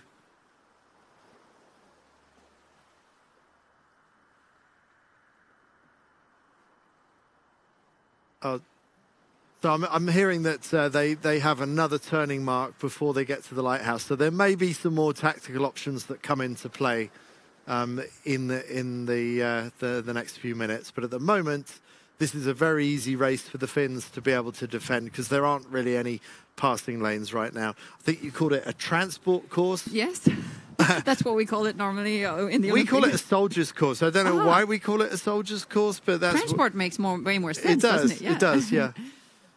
Uh, yeah, no, but uh, normally and also in some Olympic fleets, you have the same. Like it's you can't really pick, uh, you can't really, yeah, gain anything, lose anything. It's just about. We normally say just everyone stay aboard, then we'll keep our position. Like this is yeah. So uh, Yeah, a bit frustrating, isn't it, when you're behind? It's, it's quite especially nice when here for the front. Danes, they came with a lot of speed. If it would have been some more tacks, they might have put in attack there and, and try to fight for for a better position. But right now they don't have a chance. The the Russians squeezed them off, as we see. They gained out of this and uh, are far ahead of the Danish now. So yeah, it's it's um, it's a bit frustrating, I think, as you said, Andy. and uh, the uh, the camera rib just putting a bit of wake out in front of the Danish boat. I don't well. know. If, I don't know if there's going to be any complaints about that, but No, but I also think that the sailors they know it's a short time until the next uh, inshore races are coming up at two o'clock, and that's uh, on my watch only in 50 minutes. So I think, to be quite honest, on this transport lane, they are more like uh, thinking about maybe oh, anyone needs a power bar or, or something to drink and stuff like that because they they know it's not there's not coming a lot of maneuvers now in the next couple of meters ahead of them. So you, now say, they can you say that, but I just see that big container ship Ah, cutting across the top. True, and Andy. Obstacles, love them. I just wonder if the next obstacle's just about to get in their way. yeah. Well, and if it's going to affect anyone, it's going to be the leaders, um, because the leaders are going to reach that the line of that container ship first. So, is this another curveball that the Finns have to avoid if they're going to hang on to their race lead? exciting, Andy. Yeah. Stay tuned out there. Well, you do not want to be messing with a No. boat of that size, do you? No, really, really not. And uh, we've heard a lot of tooting out there uh, earlier on. So maybe we're we're gonna get some more sounds. I think it, it's a Saturday. I mean, wh- why do they have to be moving commercial shipping around on a Saturday? I think you should ask someone from Kiel about that. Not me, Andy. Should be a, it should be a five day week. The weekend should be for having fun. For everyone. I, I, I agree. And they should just come here and, and like park their boats and uh, join the Kiel Week. Exactly. Yeah. Yeah. Yeah. There's a lot of opportunity. As you said before, you can get a bratwurst, uh, you can get beers, you can get all kind of good food here in the Schilksee. There's a lot of things you can test and try and buy and I don't know, everything. So yeah, there's a lot of events happening around here. The Danes here in the picture. We, al- we always see these two twins, right? With their blonde hair doing a lot of things. They're also. everywhere all the time, aren't they? Yes. There's actually more than two of them. I can't wait to see them in the next couple of races where it will be up and down. Oh Uh, yeah, they will be up and down on those up and down races, won't yes, they? Yes. And um oh here we have Oh, Oof, this Andy. is this is going to be a bit of a wind shadow, and and you can already see some of the boats in the other fleets having to Oh, change yeah, course that one to the left. Yeah. And yeah. this is gonna this is gonna really affect the leaders. This is an opportunity for the other boats behind to be able to attack, and there's really nothing that Finland can do about this. No, all the Germans are keeping high right now, as you see in in most in the front of the picture, and the, here the Finnish are actually having to dock this container ship. Oh my God, this is so sad to watch. I think Oh, so Ah. uh, uh, we're, we're hearing that uh, maybe Gerhard Schroeder has ordered the uh, commercial shipping ar- around these German lanes uh, to, to move in favor of the German boats. Um, Oh, this is this is gonna cost the Finnish. I'm I'm almost daring to say live that it's gonna cost them the their lead. and the boat goes oh, up right now. You can see the Finnish boat. It's in bad air now. The, Germ- The the, Germans Germans are going to get bad air as well. I mean, it's not all going to. The boat that's going to profit most from this is going to be the Danish boat. Uh, and maybe the Russians if they're not too. Uh, the- yeah, the- the, the- Germans are a little bit hurt of this, or there will be as well. But the finish looks so slow and oh, this. Well, it's not going to last forever. I mean, no, it depends on where the mark in the front is as well. Yes. But that's that's definitely given the Germans an opportunity to attack. And what Here about we have the the. Russians. Here we have the Russians at the top. Uh, The Germans have a little situation there with a little other white boat who didn't really have enough wind. There, I think the Germans were thinking, should we take it to leeward or windward? Mm-mm-mm. They took it to windward. So the the Russians, they're in the bad air of the uh, of the container ship now. Yeah. Of the and, and and so they're slowing down a little bit. And now the Danes. So the Danes. Danes are always also going into the soft area, but being the furthest back of these four, probably being least affected by it. And meanwhile, we haven't had much to say about Sweden lately. We haven't seen them for a long, long time. No, they're not really in this battle for, for the win. And maybe the Danes are not either, but they're still adjusting everything and, and taking this race super serious. Uh, you can see their focus. And look at the the uh, speed difference. So so the Finns were back up to nine knots Yes. of boat speed, and and the, the other boats were down at about five knots. So. So the Danes, even though they the container ship is quite long past now, it was a, a minute ago. Uh, the Danes are still having to go through that bad patch. So that that was being that's been quite a significant effect. Here we see that the Finnish are still a lot in the lead, but they just lost some some height uh, compared to the others. And the question is where the mark is in front of them compared to this, if they actually have to put in another tack, Yes. uh, the Finnish, or if they can survive there. Um, this will be the this will be the the question for the Finnish because if they have to put in attack, I'm not sure they will um, cross the the Russians, for example, and then maybe not also the Germans. So it's it's going to be exciting here the the next couple of minutes. The, the Finns seem to have consistently the highest boat speed at the moment. Yes. They're the only boat achieving over nine knots of boat speed. Yes, they. Um, here we have the the Russians in the picture. They don't really look that. Um, they look all quite high in the boat and as if they're. I don't know what they're what they're doing, but they're not looking as if they're having a transport race right now. They're looking as if they're gonna do a maneuver or something um, on that boat. But here we have them in the oval graphics. And the Danes have uh, dropped down to a lower angle than the Russians, so they were more on their line. But yeah, until we know where the next mark is, we it, it's really hard to know what the options are for boats like the Germans and the Russians. Yeah, and I think uh, also we don't have a fully upwind course right now. I think they're probably also why we see this a little bit more speed, that they're a little bit between upwind and half wind now in, in the course. Um, at least they are having better speed than, than before on the upwind. And gennaker going up on the Russian boat. Ah, so, so yes, it was right that they're a little bit more half wind now. And uh, ah, now we get that sail up that we talked about before, Andy. Right. Love well, it. you got it on board. You might as well use it. Yeah, exactly. What took them so long? Exciting to see if they can actually keep that angle um, compared to the other boats who haven't put it up. But I, maybe the Germans are like, why not? I mean, we want to try to to gain some boats, so not really come up yet. I think it's the Russians we have here in the in the picture. They're probably just preparing it. Okay, so yeah, not not actually bringing it into play quite yet. Yeah, and that's that's an, another very important job uh, for all the teams to think about which sails to use when. That's uh, a call that's very important, and uh, and uh, also in the offshore races, it's all the time thinking about when should we change our sails. And um, sometimes you can be waking up in the middle of the night, like, oh, we.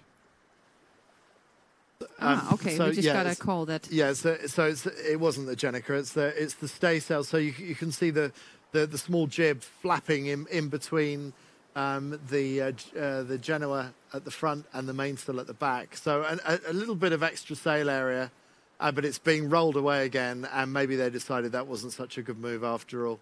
No, but I think it was wise of them to just give it a chance and see like it couldn't hurt. They were they're on a quite stable third position and uh, and yeah, that's probably why we saw them. ooh, that's why- ah, that's why. Wow. You just got to keep your eye out Oh, don't- yeah. around here, don't you? That's maybe why they rolled it in then. no, but uh, yeah, they are definitely having some action, even though it's this transport race. Well, it, it is a race against transport ships, isn't it? Yeah, it's it's like true, it's like a game of chicken. It's Yes, like the, the, that video game where you got to get the chicken across the road. Yeah. Oh, it. It looks a little bit like that from from our perspective, but uh, maybe they're making ready to roll it out again. I think so, actually. That second jib up there, or oh, are they going to like take it's coming it down, Yeah, so they're not bothering with it after all. No. No, but I think it was a wise decision uh, to to try and see if they could actually gain some speed. They concluded, no, we can't, and then they are they're taking it down. And also just to play a little bit with the sails again. It's the transport race uh, course right now to the finish line, and uh, and for them it's just. Uh, about testing, they have two weeks of sailing ahead of them, so now they know the limit of this this sail, and uh, yeah, so I like I like that they tested it at least. Maybe- sails seem to have become fashionable over the last uh, two or three years in sailing. Yeah, I haven't really raced with them myself, but uh, it is uh, giving you an advantage if the wind is not fully upwind, and and uh, in these offshore races or like other um, longer inshore races, you can you can definitely have um, advantage of them. Uh, look at the gaps now. It's, it's 400 meters back from the leader back to the Danes. So you think how close the Danes were at that last Yeah. turning mark. Yeah, yeah. And now the transport course. This is the problem with the transport course is that um, the rich get richer, and uh, the further back you are, the, the worse it gets because you, you just don't have any passing lanes. No, true. And and in the Olympic fleet, you have this little transport race. For example, in in the, in my husband's fleet in the Finn class, you have this little transport fleet to kind of like get them into the finish line and not like in one chaos. They come like like pearls on a string, like here, and uh, that's easier to get them into the finish line like that. And um, but uh, yeah. Oh, what do we have going on there now? So it, the it looks like the leader has rounded that yellow mark. You can see another boat from another fleet rounding the yellow mark. So um, they are turning this mark, leaving it uh, to starboard, to their right hand side. Um, but until we know where the direction is of the mark after that, we don't really know if there are any attacking lanes. But it, it looks, if anything, like it's going to be an even easier race for Finland to defend based on the direction that it's heading at the moment. Yes, and they are actually. Um, uh, this is also why they have these iPads that we talked about before. Um, it's uh, to they have all their navigation, their courses. They have plugged into the to a navigation app uh, so that they know where to, to go. As we are talking now, oh, where's the next mark? They are not in doubt at all. They they have everything under control on the boat, and um, and yeah, their tactician is taking this into consideration about where the wind is coming from and where they have to go to the next mark. So we have the Russians here in the picture. The same positions since the last mark.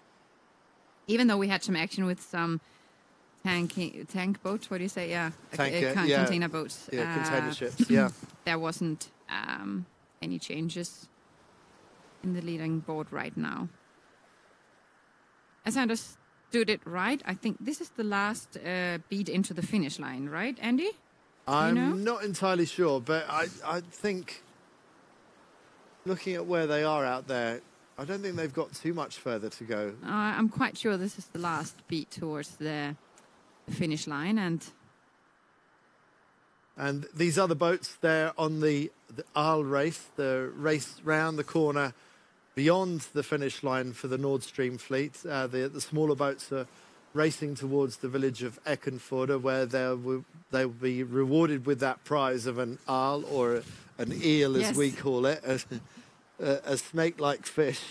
Um, I, I've never actually dared eat eel. I just can't bring myself to do it. Have you ever actually had eel? um, no. And uh, I, I think the whole thought of it is not really me. And then smoked on the top of that. No, thank you. I think uh, no, but we should give it a go maybe later on, you and me here. As long as it's got ketchup and mustard on it. yeah, we could survive probably. Yeah. yeah. So quite big gaps now.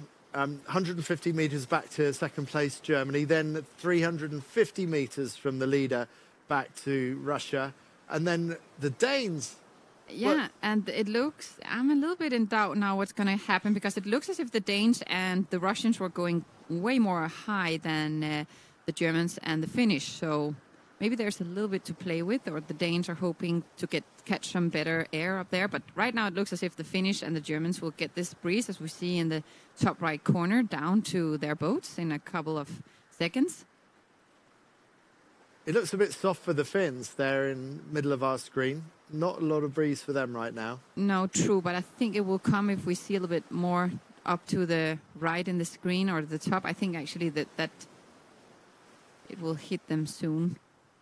Uh, it looks light. Yeah, you're right, and yeah, I, it's it's difficult. It's even difficult for us to, to watch, even though we're having a you know helicopter perspective and all this, watching on a screen. It's so easy to be clever here, but um, they they are really having a hard time out there. It's not easy uh, taking these decisions. They're having a boat speed of six point One nine. one nine right now. Yeah. Yeah. And the other ones are having approximately the same. Around. Yeah. So yeah, all around six knots or so. So not massive speed differences between the boats right now. No.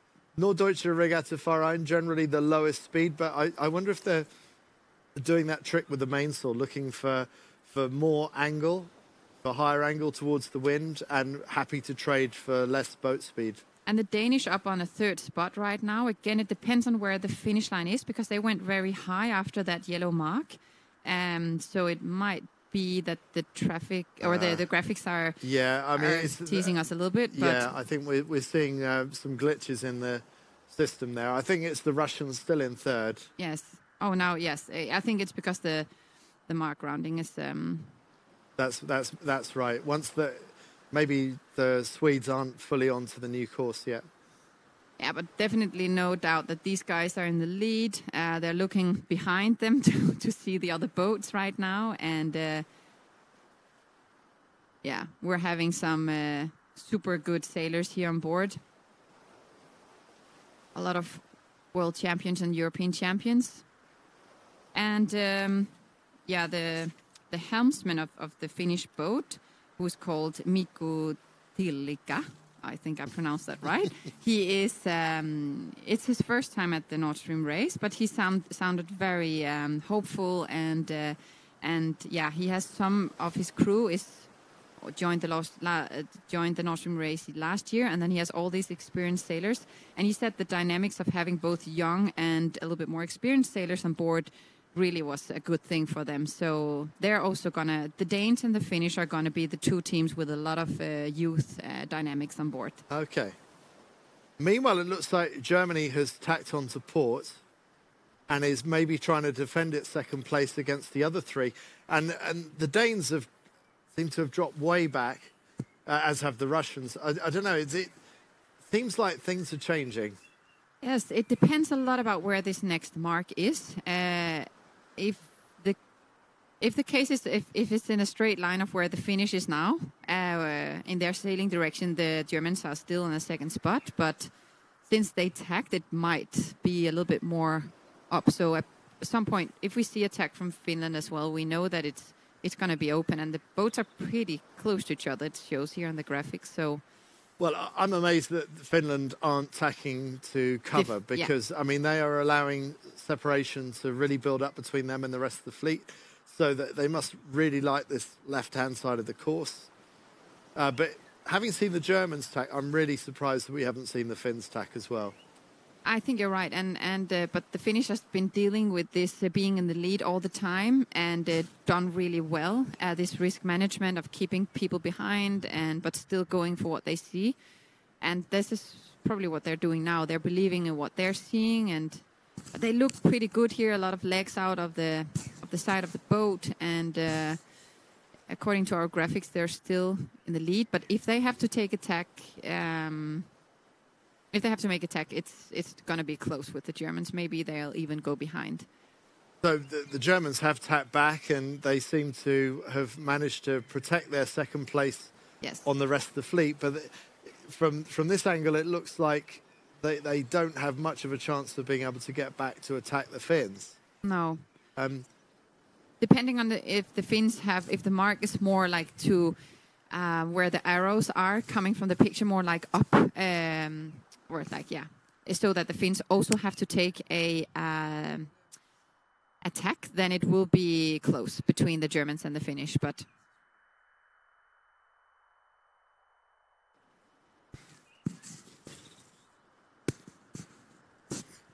Um, so Finland out on its own on the right hand side of the picture.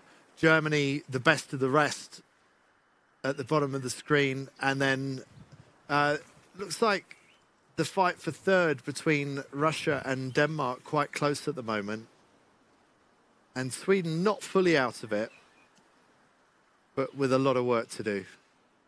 Yes. Um, yeah, it's going to be exciting to see how it will uh, be because it it depends a little bit on on where this mark is. But but exciting is that the Germans they have kind of like secured their second spot where where they are right now, and uh, as you said, it will probably cost them the fight for actually going for the win for the Finns. But um, yeah, right now, as as um, we just got a little picture here from our great people sitting behind the screens that um, that they are almost heading towards the the finish line right now. Uh, the Finnish need to get a little tack in, and uh, yeah, it, there will be some action. Andy, So, so the, the Germans, they there wasn't much port tack to be done, and they did it early, which which doesn't leave them many tactical op- options, but it does mean that they have managed to protect themselves on the boats behind.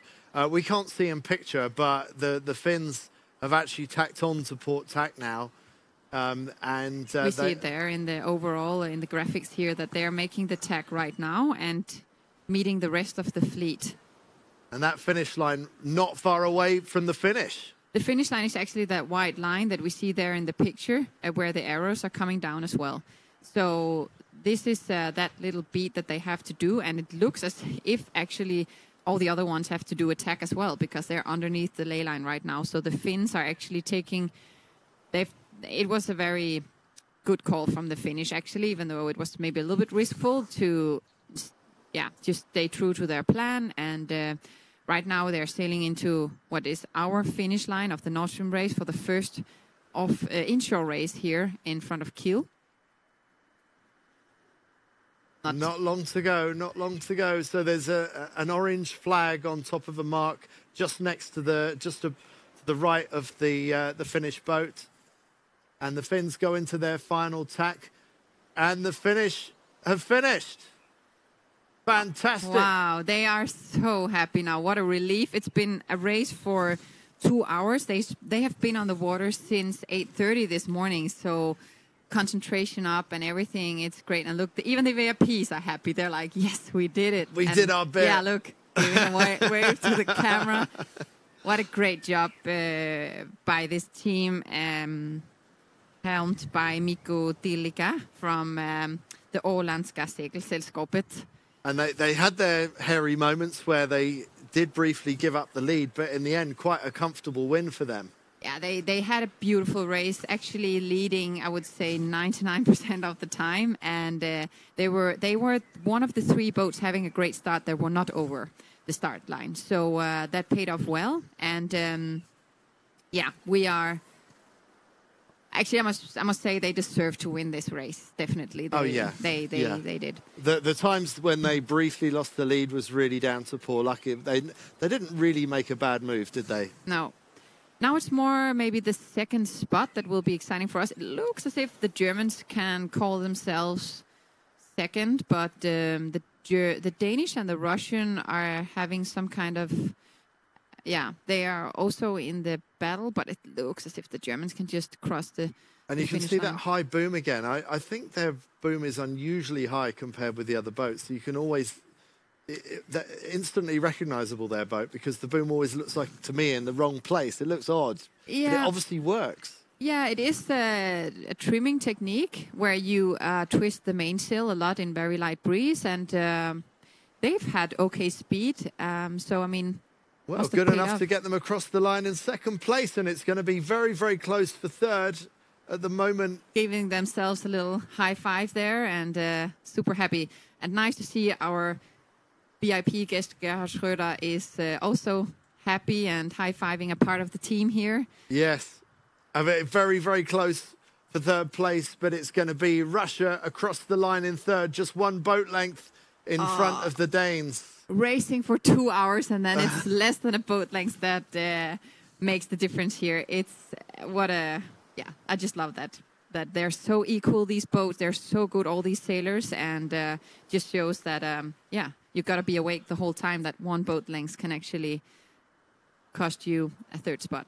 And well, remember that uh, Russia was also over the line early, had to go back and restart. So a third place, very, very good for them, and and almost up into the lead at points during that race. So good sailing by the Russians.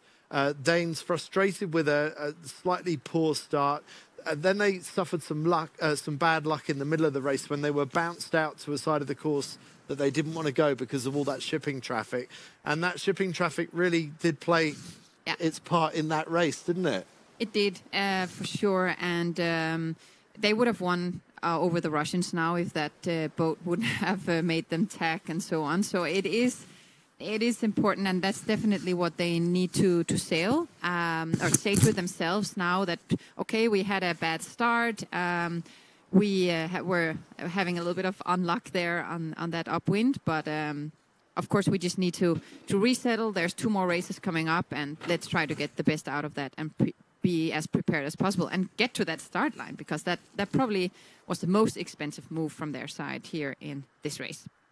So um, I wonder if they're going to stick to that um, uh, to that schedule because it's 1.35 now, and the the next scheduled start is two o'clock. So so it's quite possible, but that's not time much time for Chancellor Schröder to um, have his sandwiches in between the races, is it? No, they're going to have a change in the VIPs now. Um, Okay. And then uh, I think they'll go get, get off the boats. And uh, actually, it was said uh, that they, yeah, would have the next start at two.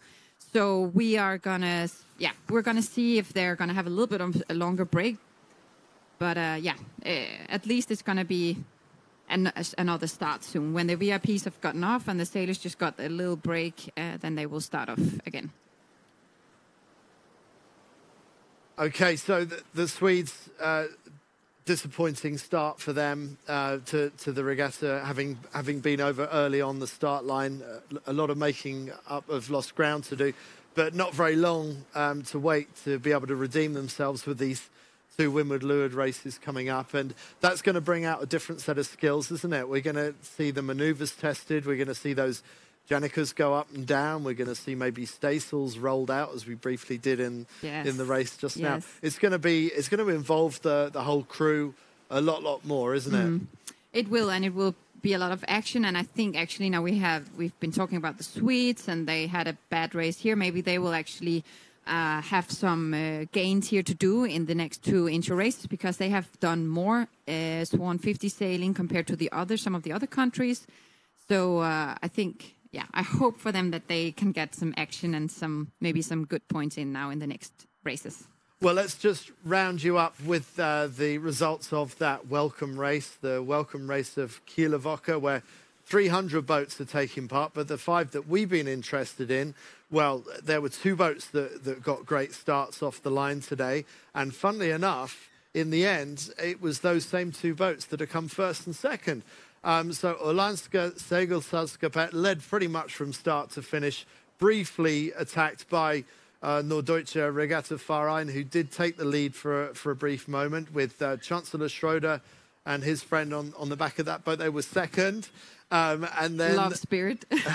the Russians were one of two teams that were over early on the start. So they did phenomenally well to, to come back and even threaten for the lead. They ended up in third place, Great. Leviathan sailing team. yeah. The Danes, again, we, we saw moments of, of brilliance from them, except for that start. They had an awful start, which always all that put them on the back foot from the word go. And they they um, they they had their moments, but they were always having to fight harder than maybe they needed to if they'd have got a better start.